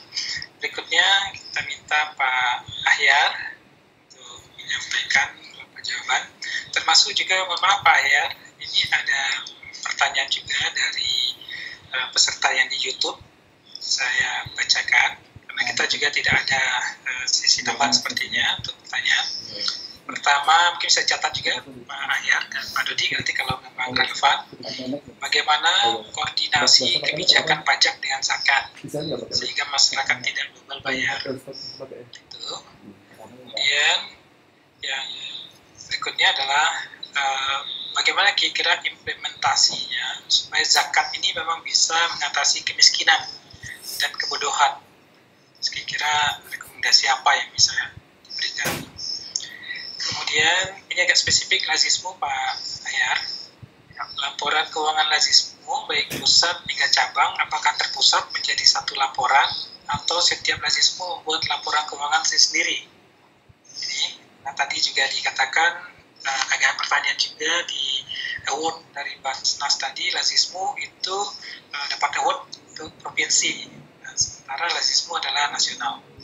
Oke kemudian yang terakhir uh, publikasi uh, bagaimana strategi lembaga zakat meningkatkan kepercayaan masyarakat untuk bayar zakat ya selama dengan strategi supaya uh, apa uh, strategi sejauh yang Pak Ayar dapatkan yang Pak Ayar temukan observasi terhadap strategi lembaga zakat untuk meningkatkan kepercayaan masyarakat itu kira-kira monggo Pak Ayar silakan baik uh, makasih Pak Rizal uh, tentu saja para Vera Pak Amin ya Pak Wahyudi Bu Hadijah para penanya tadi yang lihat Pak Rizal dan tentu juga saya mohon maaf Pak Sarjono yang karena suara beliau nggak kedengar jadi nggak tahu pertanyaannya. Uh, Pak Sarjono kalau ada ditulis Pak Sarjono, mohon maaf ditulis di chat aja Pak Sarjono. Ya. Silakan Pak ya, maaf. Ya baik, baik uh, saya coba jawab juga mungkin tidak harus urut banget tapi mungkin ada yang berbarengan saya mungkin sekaligus ya. Uh, pertama tadi soal Ibu Vera ya yang mengatakan yang bertanya uh, apakah memang hanya faktor akuntabilitas dan responsabilitas yang membuat zakat tidak baik terkumpul? Uh, enggak bu, saya mencatat ada empat atau lima punya faktor ya, yang saya lagi nulis buku, belum sempat ini. Uh, Oke, okay, saya ringkas mungkin empat sebentar saya sampaikan. Pertama kan sudah disinggung soal awareness. Saya setuju Pak Iwan bahwa memang ini perlu dibangun ya. Bahkan dalam konteks saya, ya saya coba bangun dari kelas saya Bu ini, ya Bu ya. Nah, dalam konteks ini katakanlah saya biasanya memulai dengan bertanya pada mahasiswa saya. Siapa siapa yang mau uang satu miliar, perlu 10 miliar, tapi pulang tanpa kuping, pulang tanpa hidung, ya nggak ada yang mau. Ya, saya bilang how do you get your nose, your eyes macam-macam, for free kan, ya semua gratis ya. Nah, lalu terbukti bahwa betapa tadi yang Pak Iwan bilang juga Allah dua kali di Quran mengatakan wa in ta'udu ni'matallahi la tuhsuha. Kalau engkau hitung nikmat Allah itu tidak mungkin dihitung. Ya, barangkan oksigen, kemampuan melihat, kemampuan mendengar, dan seterusnya ya, tidak mungkin. Makanya selama ini saya coba membagi rezeki menjadi dua ya. Rezeki yang countable, yang dapat dihitung itulah yang tadi yang jadi objek zakat. Lalu rezeki yang uncountable, yang nggak mungkin dihitung, itu oleh Allah silakan mengatakan nikmati aja lah ya. Tapi yang countable ini Allah katakan zakatnya. Betul, bukan tuh Allah, bukan tuh asnaf, tapi back to ah, sebetulnya kalau boleh saya sampaikan, zakat kita ber tadi ya betul secara fisik uang itu mengalir kepada asnaf, tapi secara hakiki back to us. Kenapa? Saya kira semua kita hafal di sini yang mengatakan idza mata ibnu adam yanqata amaluhu illa min thalathin. Ketika anak Adam itu meninggal, maka putus segala amal ibadah. Itu tiga hal. Yang pertama jelas, sudah jariah termasuk zakat. Makanya tadi saya juga mirip-mirip Pak Iwan punya teka-teki di kelas. Kalau ada 10 ekor burung bertengger di pohon, kita tembak kena satu, berapa sisanya? Gue bilang, oh, habis Pak. Ya, nah sembilan Pak, no. Ya paling enggak jawaban tadi satu, yang mati itu. Nah itulah rezeki kita kita kita sedekahkan. Maka saya bilang kalau mau egois dalam petik ya, ya makin banyak bersedekah, ber, berzakat. Karena itulah yang akan mengiringi kehidupan kita di alam barzah dan di alam berikutnya nanti salah betul ketika kita mau numpuk-numpuk uh, di dunia ini lalu kita nggak punya tabungan di akhirat jadi ini konteks lain barangkali ya jadi dengan demikian saya mengajak memang pada semua bahwa meski kita tuh unlimited sebetulnya maka ketika orang hitung zakat hanya hitung gaji pokok. Itu salah besar. Itu saya dapatkan di beberapa tempat ya. Jadi mereka bedakan gaji pokok dengan sampingan. Sampingan lebih gede padahal ya? Enggak. Kayak saya kira Pak Iwan, Pak Rizal, Pak Ahid itu kan dapat seminar lah apalah ya. Project lah kan. Itu must bigger than what we got from gaji pokok gitu kan nah, tapi itu dia. Kita mengartikan salah ya. Bahkan juga saya mengatakan bila perlu setiap orang tuh punya kewajiban mencatat income-nya karena kembali pada rasa syukur tadi saya ya maaf nih sekedar sharing saja. Sudah lama saya mencatat semua income saya. Di akhir bulan saya biasanya langsung uh, akui berapa zakat liability saya. Itu di Ramadan saya itu ulang. Maka biasanya saya kaget sendiri. Ya dan tentu bersyukur bahwa alhamdulillah ternyata harus kita banyak kok ya, ya dari ini dari itu kita kita akumulasi. Kalau nggak kita catat terlupa. Dan kemudian syukur kita berkurang seolah-olah dapat gaji pokok doang padahal enggak ya sejak saya masih udah lama sekali itu saya lihat masya Allah we get a lot of money from many sources nah makanya perlu mencatat ya, soalnya kalau boleh saya berpendapat bahwa bahwa akuntansi itu wajib bagi saya itu wajib individual, wajib main. Kenapa? Karena itu akan tahu nanti berapa real income kita, ya. berapa take home kita dari segala sumber yang ada, ya. Baik yang utama maupun yang sampingan. Yang sampingan bisa lebih gede, kan gitu. Jadi oleh karena itu, itu penting masyarakat dipahamkan baik dengan cara pengeluaran tadi, marifat, maupun cara yang agak teknikal yang saya pakai di kelas. Ya. Saya coba tantang maksud saya. Siapa yang mau pulang tanpa tangan, saya kasih satu miliar. Nggak ada yang mau kok. Padahal saya bilang, how do you get your hand? Oh, free ya lalu kita bandingkan dengan HP kita ya kemudian kita masuk pada hitung-hitungan kasar ya saya bilang berapa anda dapat sebulan mahasiswa di Jogja saya di tempat saya rata-rata masuk dapat 1 sampai 3 juta per bulan saya bilang itu income itu dari Allah lihat orang tua dan kalau kita hitung hitung zakat saya sedikit lompat jadi banyak diperdebatkan akhirnya zakat profesi ada apa enggak saya bilang ada itu kan bisa di, di Al-Baqarah sekian kan lima kasabtun ya lima kasabtun yang kamu kerjakan. Dan saya menganut itu. Ya. Kenapa? Kalau bapak zakat peternakan, tidak punya peternakan ya. Yang saya punya profesi, karena saya profesional dan ternyata hasil gede lumayan. Nah sehingga yang saya lagi-lagi dalam menghitung selama ini ada dua pendekatan gross income atau net income. Saya pikir gross income dan itu tidak berat kok ya. Kata satu juta apa orang dapat sebulan cuma dua puluh ribu rupiah kok zakatnya. It's nothing. Dan mahasiswa saya katakan bahwa kalau ini anda bandingkan ya berat, berat nggak? Nggak pak. Dua puluh lima ribu dan satu juta apa artinya ya kan? makanya di kelas saya mengajak ini dan alhamdulillah beberapa masa mulai. Loh, kan belum belum apa, belum wajib karena belum sampai nisab. Oke. Okay. Sisi lainnya saya, yang saya lakukan adalah saya mengambil itibar dari sholat ya. Kita belajar sholat kapan sih? Kan umur 5-6 tahun. Tapi setelah kita bisa sholat, apakah orang tua bilang, udahlah, akhir kamu udah sholat, sholat sampai tunggu balik. Kan tidak begitu. Nah, maksudnya perlu edukasi, perlu pembiasaan. Ya. Jadi setelah kita bisa berzakat, walaupun belum kena kewajiban, terus. Nah, di bahasa dia jadi muzaki, nggak berat lagi. Tapi apa terjadi karena kita belajar sangat sedikit ya, Ustadz pun jarang membahasakan ini biasanya. Dan tidak ada tidak ada dorong aplikasi, tidak ada proses internalisasi. Maka ketika tidak ada kaya, oh berat yang datang. Setan masuk, iblis menggoda, oh berat. Memang betul, akhirnya nampak besar ya. Mudah masuk, pagar menjadi sumur ini macam-macam. Nah, tapi kali ini kebersihan tadi kita jaga ya, karena betul di dalam hartamu ada harta orang lain. Itu Quran mengatakan. Maka kita bersihkan ya, tazkiyah, tauhid itu itu kan, pembersihan dan penyucian dan sekaligus penumbuhan karena saya belum menemukan orang yang berzakat miskin. Itu belum pernah ya. Sebaliknya, dalam banyak cerita saya dapatkan, orang yang tadi nggak berzakat, lalu banyak masalah dia berzakat. Alhamdulillah, banyak problem dia jadi teratasi. Allah alam ya. Itu kan hak Allah ya. Nah, jadi itu, jadi perlu edukasi. Bahkan dari kecil, di anak-anak kita, kita ajari. Ya. Saya, lu ngajar saya rukun Islam, terus dia, dia masih umur 5-6 tahun. Kemudian ketika dia tak kasih, kita mulai kenakan sedekah zakat. Lalu kata itu wajib dan sebagainya sehingga sampai dia gede anak saya kerja dia langsung nanya zakat saya gimana ayah saya bilang bayarkan ya betapapun mungkin ya secara nisab boleh jadi belum tapi nggak masalah karena Allah nggak nggak buta kok Allah bisa membedakan ya jadi yang pertama itu uh, Bu Vera bahwa perlu awareness ini dari dari semua kita. Jadi kalau kita mengejar tadi ya, ya jadi ini yang kurang perlu edukasi dari seawal mungkin ya, ya termasuk apa saudara kita, kakak kita, semuanya ya. Nah, yang kedua yang perlu diperbaikan tentulah and fast tadi. Ya, memang soal laporan tidak menjamin, tapi ada yang laporan akan membuat orang lebih percaya. Saya mencatat atau mengamati selama ini ada lembaga zakat yang sangat bagus yang membuat saya membuat cepat tumbuh. Ya, saya sebut 22 AFA. Itu saya amati di awal itu pelapornya bagus sekali. Ya, paling nggak rutin lah. Di Republik sejak zaman mungkin 25 tahun lalu ya mereka laporkan itu. Dan itu menginspirasi yang pihak lain. Wah ketika itu saya bermimpi bisa nggak saya zakat sekian ya? ya itu mimpi saya ketika itu. Ya lama-lama alhamdulillah bisa kejar. Ya, kita ngiri ketika orang bisa zakat gede ya, dan kita belum. Nah, jadi perlu ini tadi apa keterbukaan transparansi accountability dan seterusnya tadi. Itu perlu ya.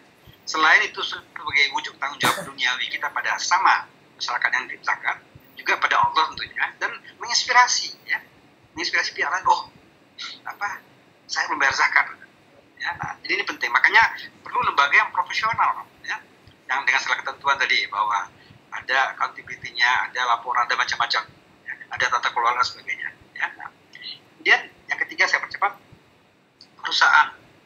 Jadi kalau ketemu angka 233, T ini, itu kan memang kombinasi zakat individual sama, zakat perusahaan. Ini pun bisa jadi perdebatan, tapi saya ber, aku saksi yang kebariah di akuntansi kita kenal namanya business entity ya. Keterpisahan antara pemilik dengan dengan pengelola. Nah jadi itu dianggap sebagai saksi itibar bahwa dengan demikian perusahaan itu sebagai saksi itibariyah ya. Berdiri sendiri maka dia membayar zakat menjadi mewakili pemiliknya. Jadi kalau saya di Malaysia dan itu saya pernah ajarkan juga jadi perusahaan bayar zakat itu mewakili pemegang sahamnya maka untuk saham saya yang di sana saya nggak perlu bayar lagi. Tapi tentu ada ketentuannya ya ada tata cara hitungnya ya. Nah, ini perlu karena itu yang besar ya. Alhamdulillah kalau saya amati beberapa lembaga besar ya, kayak seperti PLN seperti uh, siapa ini? Bu Murhayati apa namanya? Uh, kosmetik itu apa? Kosmetik besar itu? Yang di TV kalau anu itu luar biasa zakat mawar air wardah alhamdulillah saya tahu karena itu zakat dari semua ya itu besar zakat dan itu mungkin membuat zakat berkembang juga kita lihat satu-satunya perusahaan kosmetik bisa mengalahkan asing ya Bu Wardah ini. Nah, Allah alam ini barokah mungkin ya. Bayangkan bisa produk internal mengalahkan produk internasional. Bisa kita di Wardah ya. Ini contoh ya. JT juga demikian ya. Kenapa tahu ya? Karena mereka dekat antara lain lewat uh, jadi ini perlu. Nah, pemerintah dikatakan dengan tadi dengan, dengan pajak ya. Saya kira perlu pemerintah juga mengakomodasi ini. Saya pernah berdebat di suatu forum dulu. Ya. Maaf teman-teman pajak. Ketika ketika undang-undang nomor 38 keluar, lalu kami seminar di, dengan Pak Muhammad di Jogja, Jogja, ada sedikit pertengkaran antara saya dan orang pajak. Orang pajak mengatakan, ah, apa itu last bus? Maka mengambil jatah kami. Lalu saya katakan, Pak, zakat, Pak pajak, tolong Bapak buka lagi pasal 34 UUD 45. Apa isinya? Makin miskin yatim kan? Bapak lakukan enggak? Enggak. Nah, ini lembaga zakat yang bantu Bapak. Membantu pemerintah sebenarnya. Maka tolong jangan dimusuhi sebenarnya. Ya, karena mereka mengatakan agak agak negatif ya. Jadi peran kita peran membantu masyarakat dan pemerintah sebenarnya. Karena pasal 34 ini terlalaikan. Buktinya apa? Banyak pengemis, apalagi sekarang kan. Ya, banyak peminta-minta, banyak fakir miskin yang diabaikan. Saya pengelola Islam ini ya mungkin lembaga-lembaga Muhammadiyah ya, yang membantu itu. Alhamdulillah. Jadi pemerintah nah, oleh karena itu konteks zakatnya memang sejak Undang-Undang 38 muncul tax reduction. Kalau kita zakat, maka boleh mengurangi pendapatan kita yang yang bisa dikurangkan dengan tapi bagi saya itu masih belum maksimal, belum optimal. Saya lima tahun di Malaysia, rebate. Tax rebate itu artinya zakat itu mengurang total kewajiban zakat pajak kita. Maka tiga tahun terakhir saya pulang, saya selalu over payment. Ya. Dan return saya nggak perlu diaudit di sana. Ya. Jadi biasanya di tahun pertama saya di Malaysia, uh, saya mendapat laporan dan memang dapat return kecil. Ya, satu ini, saya memperbesar zakat saya di sana. Ya. Karena di sana apa ya memang zakat sektor itu sendiri dan kemudian bisa kompensasi ya. Kemudian saya besarkan zakat sehingga tax saya bisa saya minimalkan. Dan itu dibolehkan secara hukum. Maka tiap tahun saya dapat tax return. Akibat zakat saya besarkan. Dan zakat saya besarkan itu tabungan saya. Dan juga nggak menyalahi. Ya. Itu diakui. Nah, maka saya berharap undang-undang baru nanti bisa berpindah atau transformasi menjadi dari tax deduction menjadi tax rebate. Kalau perlu saya bisa kasih angka-angkanya ya, contoh model perhitungannya ya. Itu harapan saya. Kenapa? Itu potensi besar menolong pemerintah lewat apa dalam konteks Undang-Undang 34 itu, pasal 34 itu. Itu konstitusi loh ya, Undang-Undang dasar. Perannya besar dan penelitian Pak uh, Sauki, kalau nggak salah ingat saya, membuktikan bahwa ternyata zakat di Singapura, di Malaysia itu tidak mengurangi pendapatan pajak. Menarik kan? Kan dikira itu sebagai pengurang. Tapi nyatanya kalau saya nggak salah pahami uh, apa disertasinya Pak Pak Pak, Pak Sauki, ya, itu memang enggak, ya, ya betul. Ya.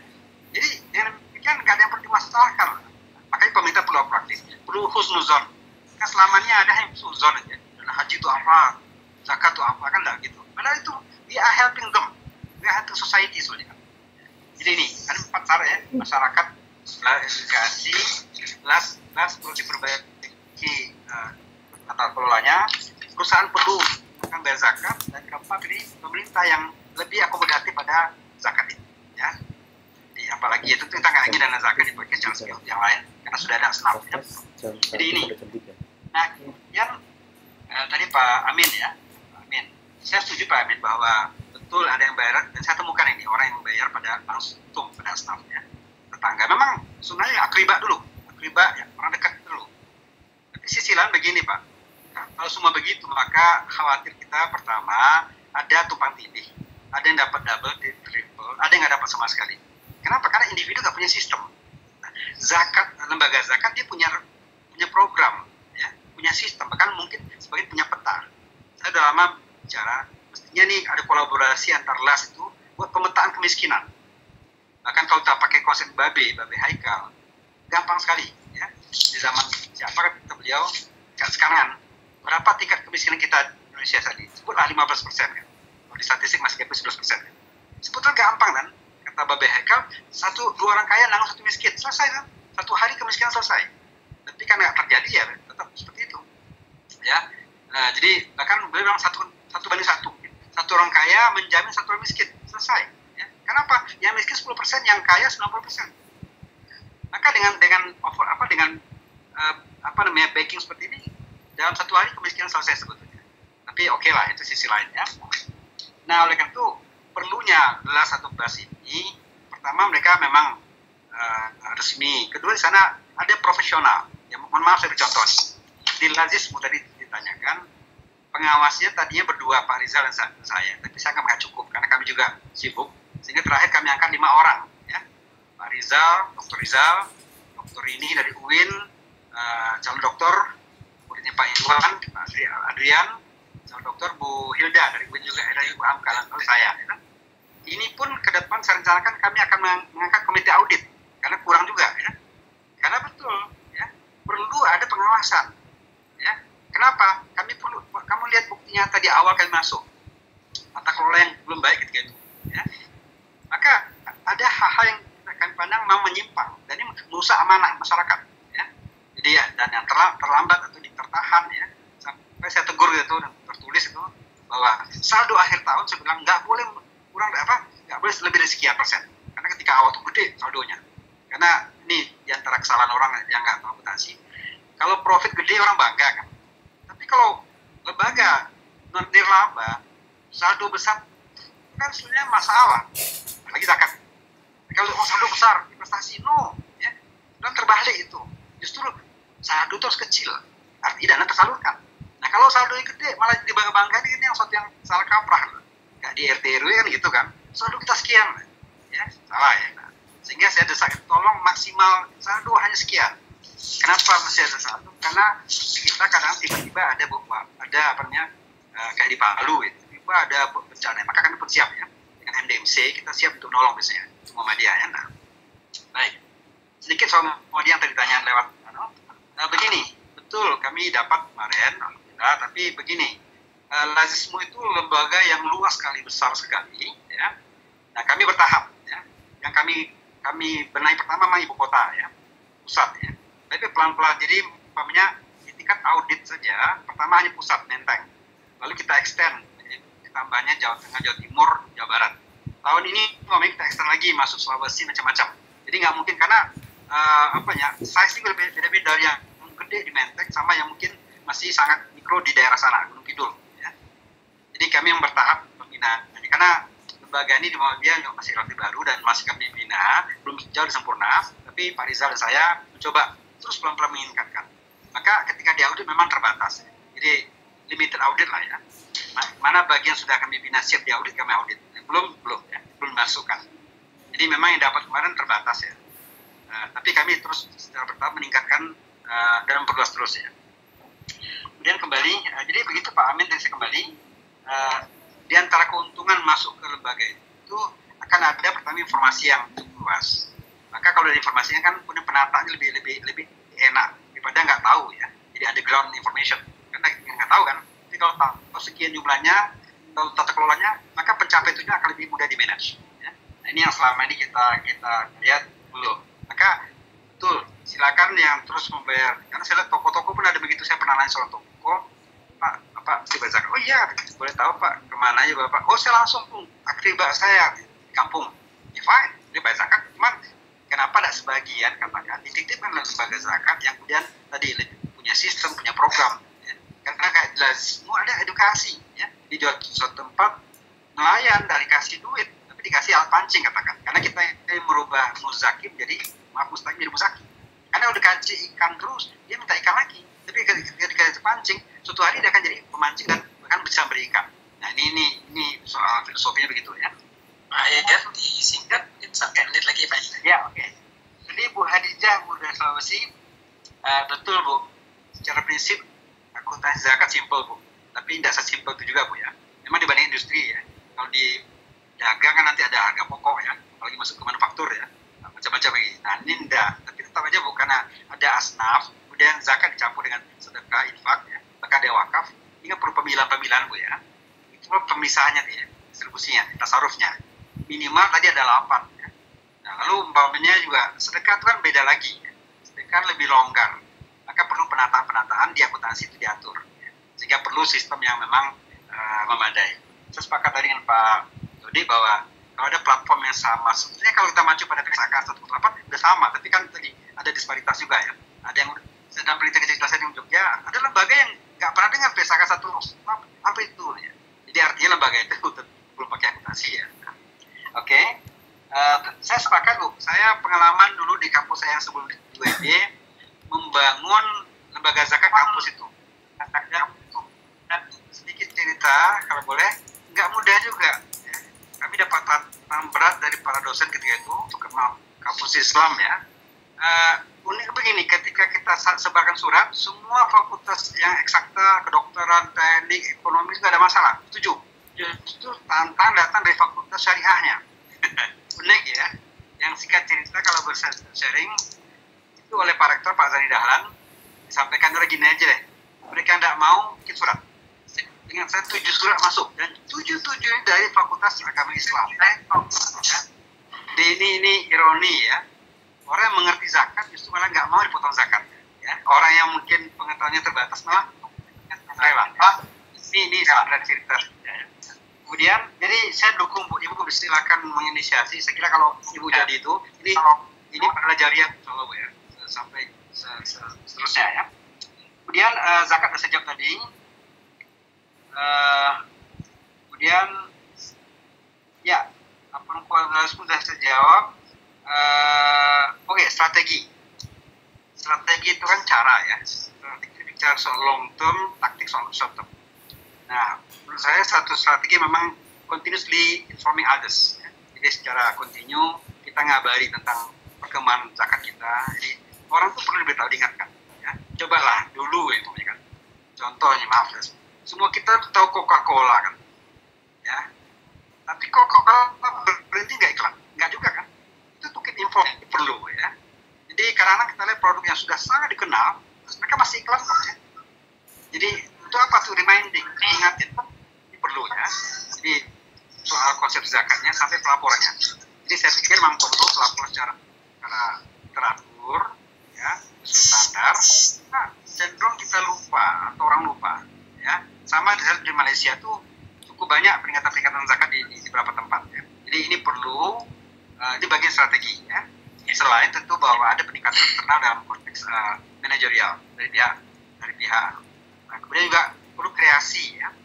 Jadi walaupun nggak pas ya, di semua pernah ada kreasi untuk kurban kita kumpulkan lalu kita bikin uh, apa namanya uh, rendang kaleng. kaleng. Karena kalau dibagi hari itu tidak mungkin lalu kita kerjasama dengan perusahaan ini kan kreativitas ya sejauh dibolehkan maka di di Lazismu ada pengurus ada DPS teman syariah Halim CS teman-teman syariah lalu ada Bawas badan pengawas Pak Rizal dan saya di antaranya ya. Nah jadi itu di antara cara yang kita gunakan dalam baik proses internal sendiri maupun lembagaan uh, lembaga kita sendiri. Saya kira itu sudah cukup panjang. Mohon maaf kalau kalau terima kasih. Assalamualaikum. Waalaikumsalam terima kasih banyak Pak Ayat memang tadi saya beri waktu agak uh, lebih lama ke Pak Ayar karena banyak pertanyaan terkait dengan tata kelola. Uh, berikutnya yang terakhir kita minta Pak Dodi untuk mengadres beberapa pertanyaan yang terkait akuntansi. Mungkin kita maaf ini mestinya 11.30 kita sudah selesai ya. Uh, mungkin Pak Dodi bisa menjawab dengan singkat. Memilih pertanyaan yang terkait akuntansi saja. Saya kira ada satu dua. Monggo Pak Dodi. Yang konten dari Vera. Itu saya pikir memang perlu dibuat kita agar apa misalnya agar agar yang bayar zakat itu banyak itu kan saya uh, melakukan penelitian banyak orang yang naik haji itu ya tapi ternyata kalau saya coba cek itu mereka belum bayar zakat lagi sudah melakukan rukun Islam kelima ya tapi yang yang zakatnya belum gitu juga menjadi saya itu itu PR buat Pak Akhir kali ya agar juga kita agar orang yang naik haji itu ya harus bayar zakat lah udah sampai udah udah haji tapi jangan nah kalau di contoh yang uh, zakat pengurangan pajak itu bisa kita lakukan di Aceh itu ya di Aceh sudah dilakukan apa zakat uh, sebagai pengurang apa uh, pajak gitu kan. jadi bang misalnya juga apa lebih baik dalam sistem apa uh, pengumpulannya nanti kemudian mengenai apa uh, zakat langsung dibayarkan masyarakat itu kan. Saya juga pernah melakukan penelitian tuh ya. Ternyata setelah di setelah saya cek itu ya, ternyata zakat yang dibayarkan ke masyarakat ke masyarakat itu dia kecil gitu. Jadi walaupun bilang aku sudah bayar zakat ke masyarakat, tapi ya mungkin mungkin baru 10 persen lah itu. misalnya zakat yang seharusnya 10 juta itu ya, dibilang oh saya udah bayar ke masyarakat ya, tapi setelah dicek mungkin baru satu juta gitu, masih kecil selain itu memang, memang perlu apa memang perlu apa memang perlu apa semacam apa ya pengawasan selain itu kita ini jadi uh, mengenai apa siapa mengawasi lembaga ini kan laporan keuangan perpajakan.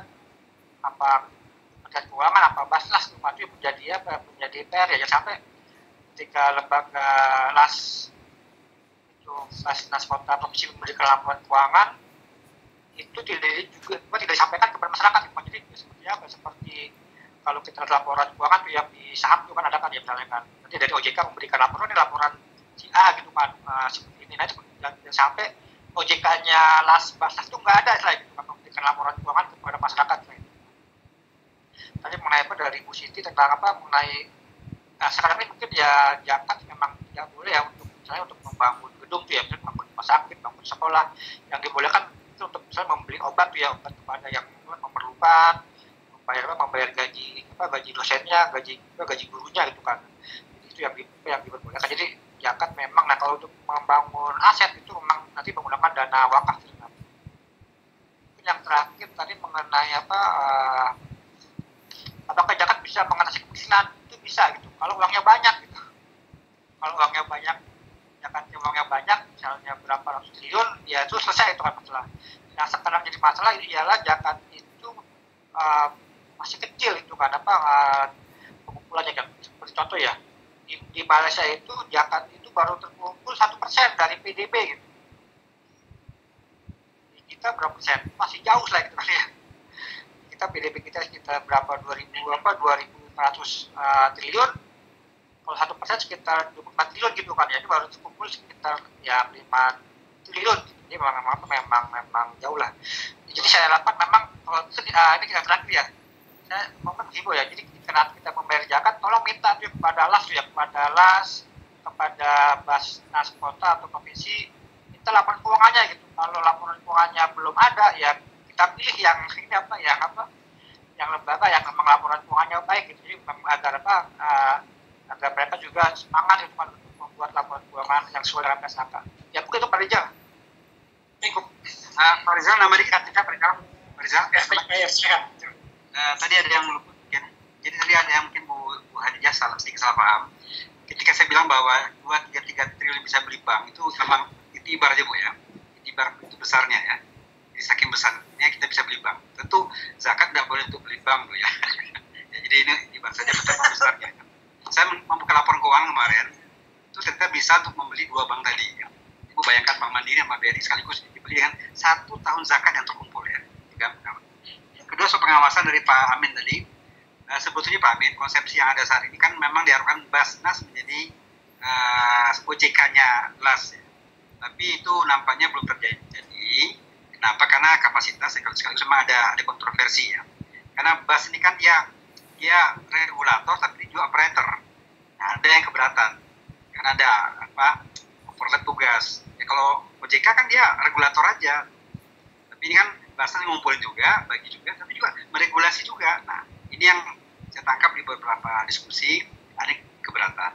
Nah, kalau muncul di bahwa ada lembaga yang khusus mengawasi, nggak ada masalah. Ya, saya kira bisa itu dibangun. Para pakar banyak ya. Jadi saya kira itu aja, memang ada baiknya. Tapi di bawah saya lihat memang ada pertengkaran itu ya. Ada lembaga ZAS, ZAS yang keberatan, karena uh, mereka juga tidak bagus kok. Bahkan kami berani tanding kok. Jadi ini isu-isu yang uh, saya tangkap di bawah ya sebagai tambahan uh, informasi. Saya kira gitu Pak Rizal, makasih banyak.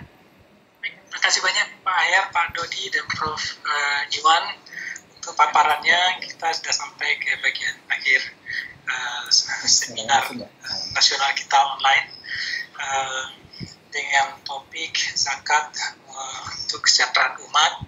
Tadi telah dipaparkan dari sisi makrifatullah, tata kelola, dan akuntansi uh, dari diskusi ini memberikan kita uh, kalau saya melihat banyak saya kita uh, bisa mewujudkan zakat sebagai kesejahteraan umat uh, dengan uh, optimismenya salah satu adalah ini memang potensial bisa dengan uh, pengembangan lebih lanjut daripada dibayar dengan sendiri langsung ya dengan terprogram melalui lembaga ini ada peluang banyak untuk kesejahteraan itu. Tadi Pak Ayer secara konkret menyampaikan bisa dibuat mapping kemiskinan, kemudian lembaga zakat ataupun BAS bisa berkoordinir untuk kemudian memberi tanggung jawab siapa untuk mendampingi siapa uh, sehingga kemudian kantong-kantong kemiskinan itu memang tergarap secara uh, fokus dan kemudian terprogram dan kemudian terrealisir.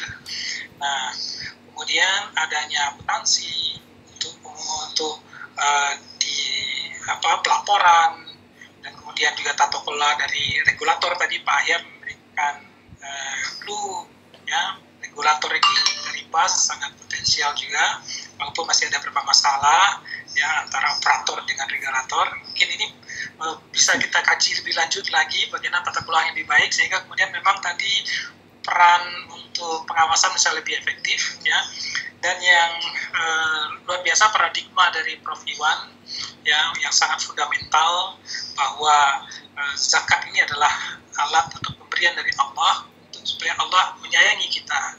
Nah, harapannya adanya kesadaran ini ya bisa kemudian membuat kita melesatkan dari ya masih aja gap antara uh, realisasi dengan potensi yang sangat besar itu sangat mungkin memang karena faktor kesadaran itu ya. Nah kalau itu kemudian tertanam di kita semua dan kita sebagai akademisi terus mengkomunikasikan itu memberikan penyadaran itu walaupun sudah ada menyampaikan dari Pak Ayat mengatakan terus menerus disampaikan maka insya Allah ini memang bisa terrealisir.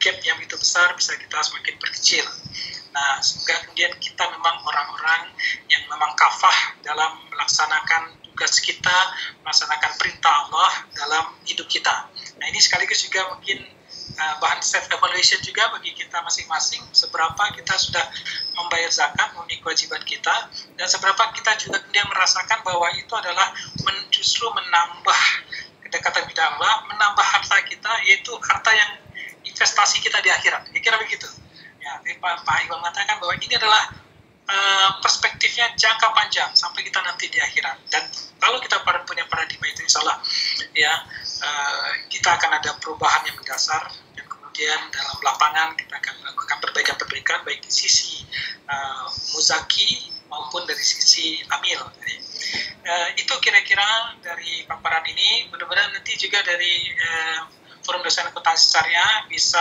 mengeksplor lagi beberapa topik-topik ke depan, termasuk juga tadi ada beberapa pertanyaan agak terkait fikih. Tidak saya tanya sini, mungkin bisa di dalam sesi yang lain, mungkin bisa kerjasama UI atau yang lain, sehingga kita uh, bisa semakin komprehensif dengan membumikan uh, zakat ini. Kalau kita melihat tadi banyak persoalan ini, ini menunjukkan bahwa agendanya masih panjang, banyak harus dilakukan. Jadi ini Pak Iwan tak tolong, jadi ini satu amanah dari peserta supaya ini memang uh, bisa membumi gitu depan. Jadi kalau sebelum membumi itu diskusinya tidak kita hentikan, kita teruskan dulu. Syukur kalau ada rekomendasi-rekomendasi yang strategis yang bisa kita berikan. Karena kalau dari tadi Pak Ahyar mengatakan ada perdebatan-perdebatan uh, di internal di dalam regulasi, maka mungkin saya akan misi bisa memberikan uh, konsep yang mungkin lebih uh, apa independen, lebih tajam, dan bisa diterima oleh uh, pemerintah dan semua pihak. Itu yang dapat saya sampaikan sebagai moderator. Mohon maaf kalau ada yang kurang berkenan uh, dan mohon maaf juga ini waktunya juga kisah terbatas. Kita uh, bisa lebih daripada ini karena hari Jumat. Nah selanjutnya saya persilakan kepada waktu saya gunakan kepada pembawa acara sedikit pengumuman nanti uh, post testnya nanti tidak langsung ini tapi jam 1 sampai jam 3 supaya bisa melaksanakan sholat Jumat. Demikian dari saya terima kasih. Silakan pada MC. Assalamualaikum warahmatullahi wabarakatuh. Uh, baik, terima kasih.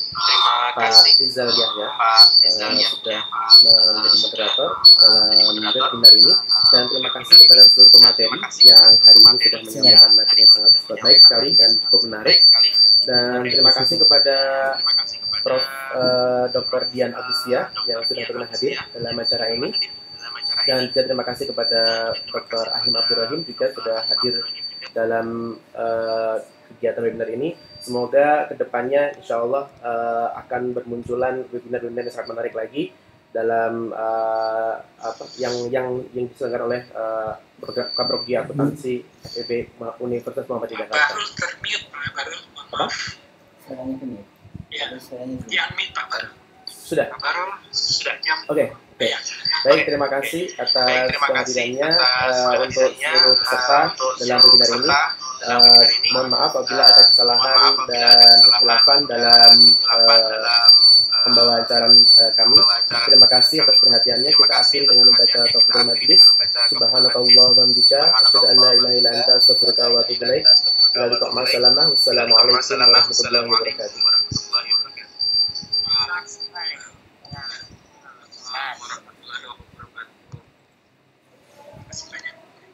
Ya, Pak Dodi. Ya, sama-sama semuanya. Dia juga. Kemudian, terima kasih banyak. Fatin. Terima kasih pada kita, ini. Baik, baik. Terima kasih. Ya, makasih Pak Rizal. Sama-sama. Juga panitia, terima kasih banyak ya. Terima kasih. Ya, Pak Rafi, terima kasih. Ya, ya, sama-sama. Terima kasih banyak. Pak Iwan, Pak Dudi, Dia, Rizal, semuanya deh. Termasuk yang mau nampak gambar di sini ya. Saya pamit ya. Ya, sama-sama. Silakan. Terima kasih semuanya Pak Iwan, Dodi, Ya, Dia, Ya, terima kasih semuanya teman-teman semuanya. teman-teman semuanya. Tete, terima kasih ya. Sama-sama. Terima kasih. Kemudian Pak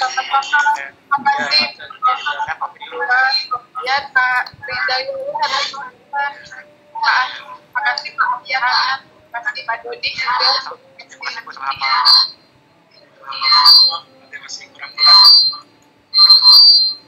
Luar biasa Pak Yaya.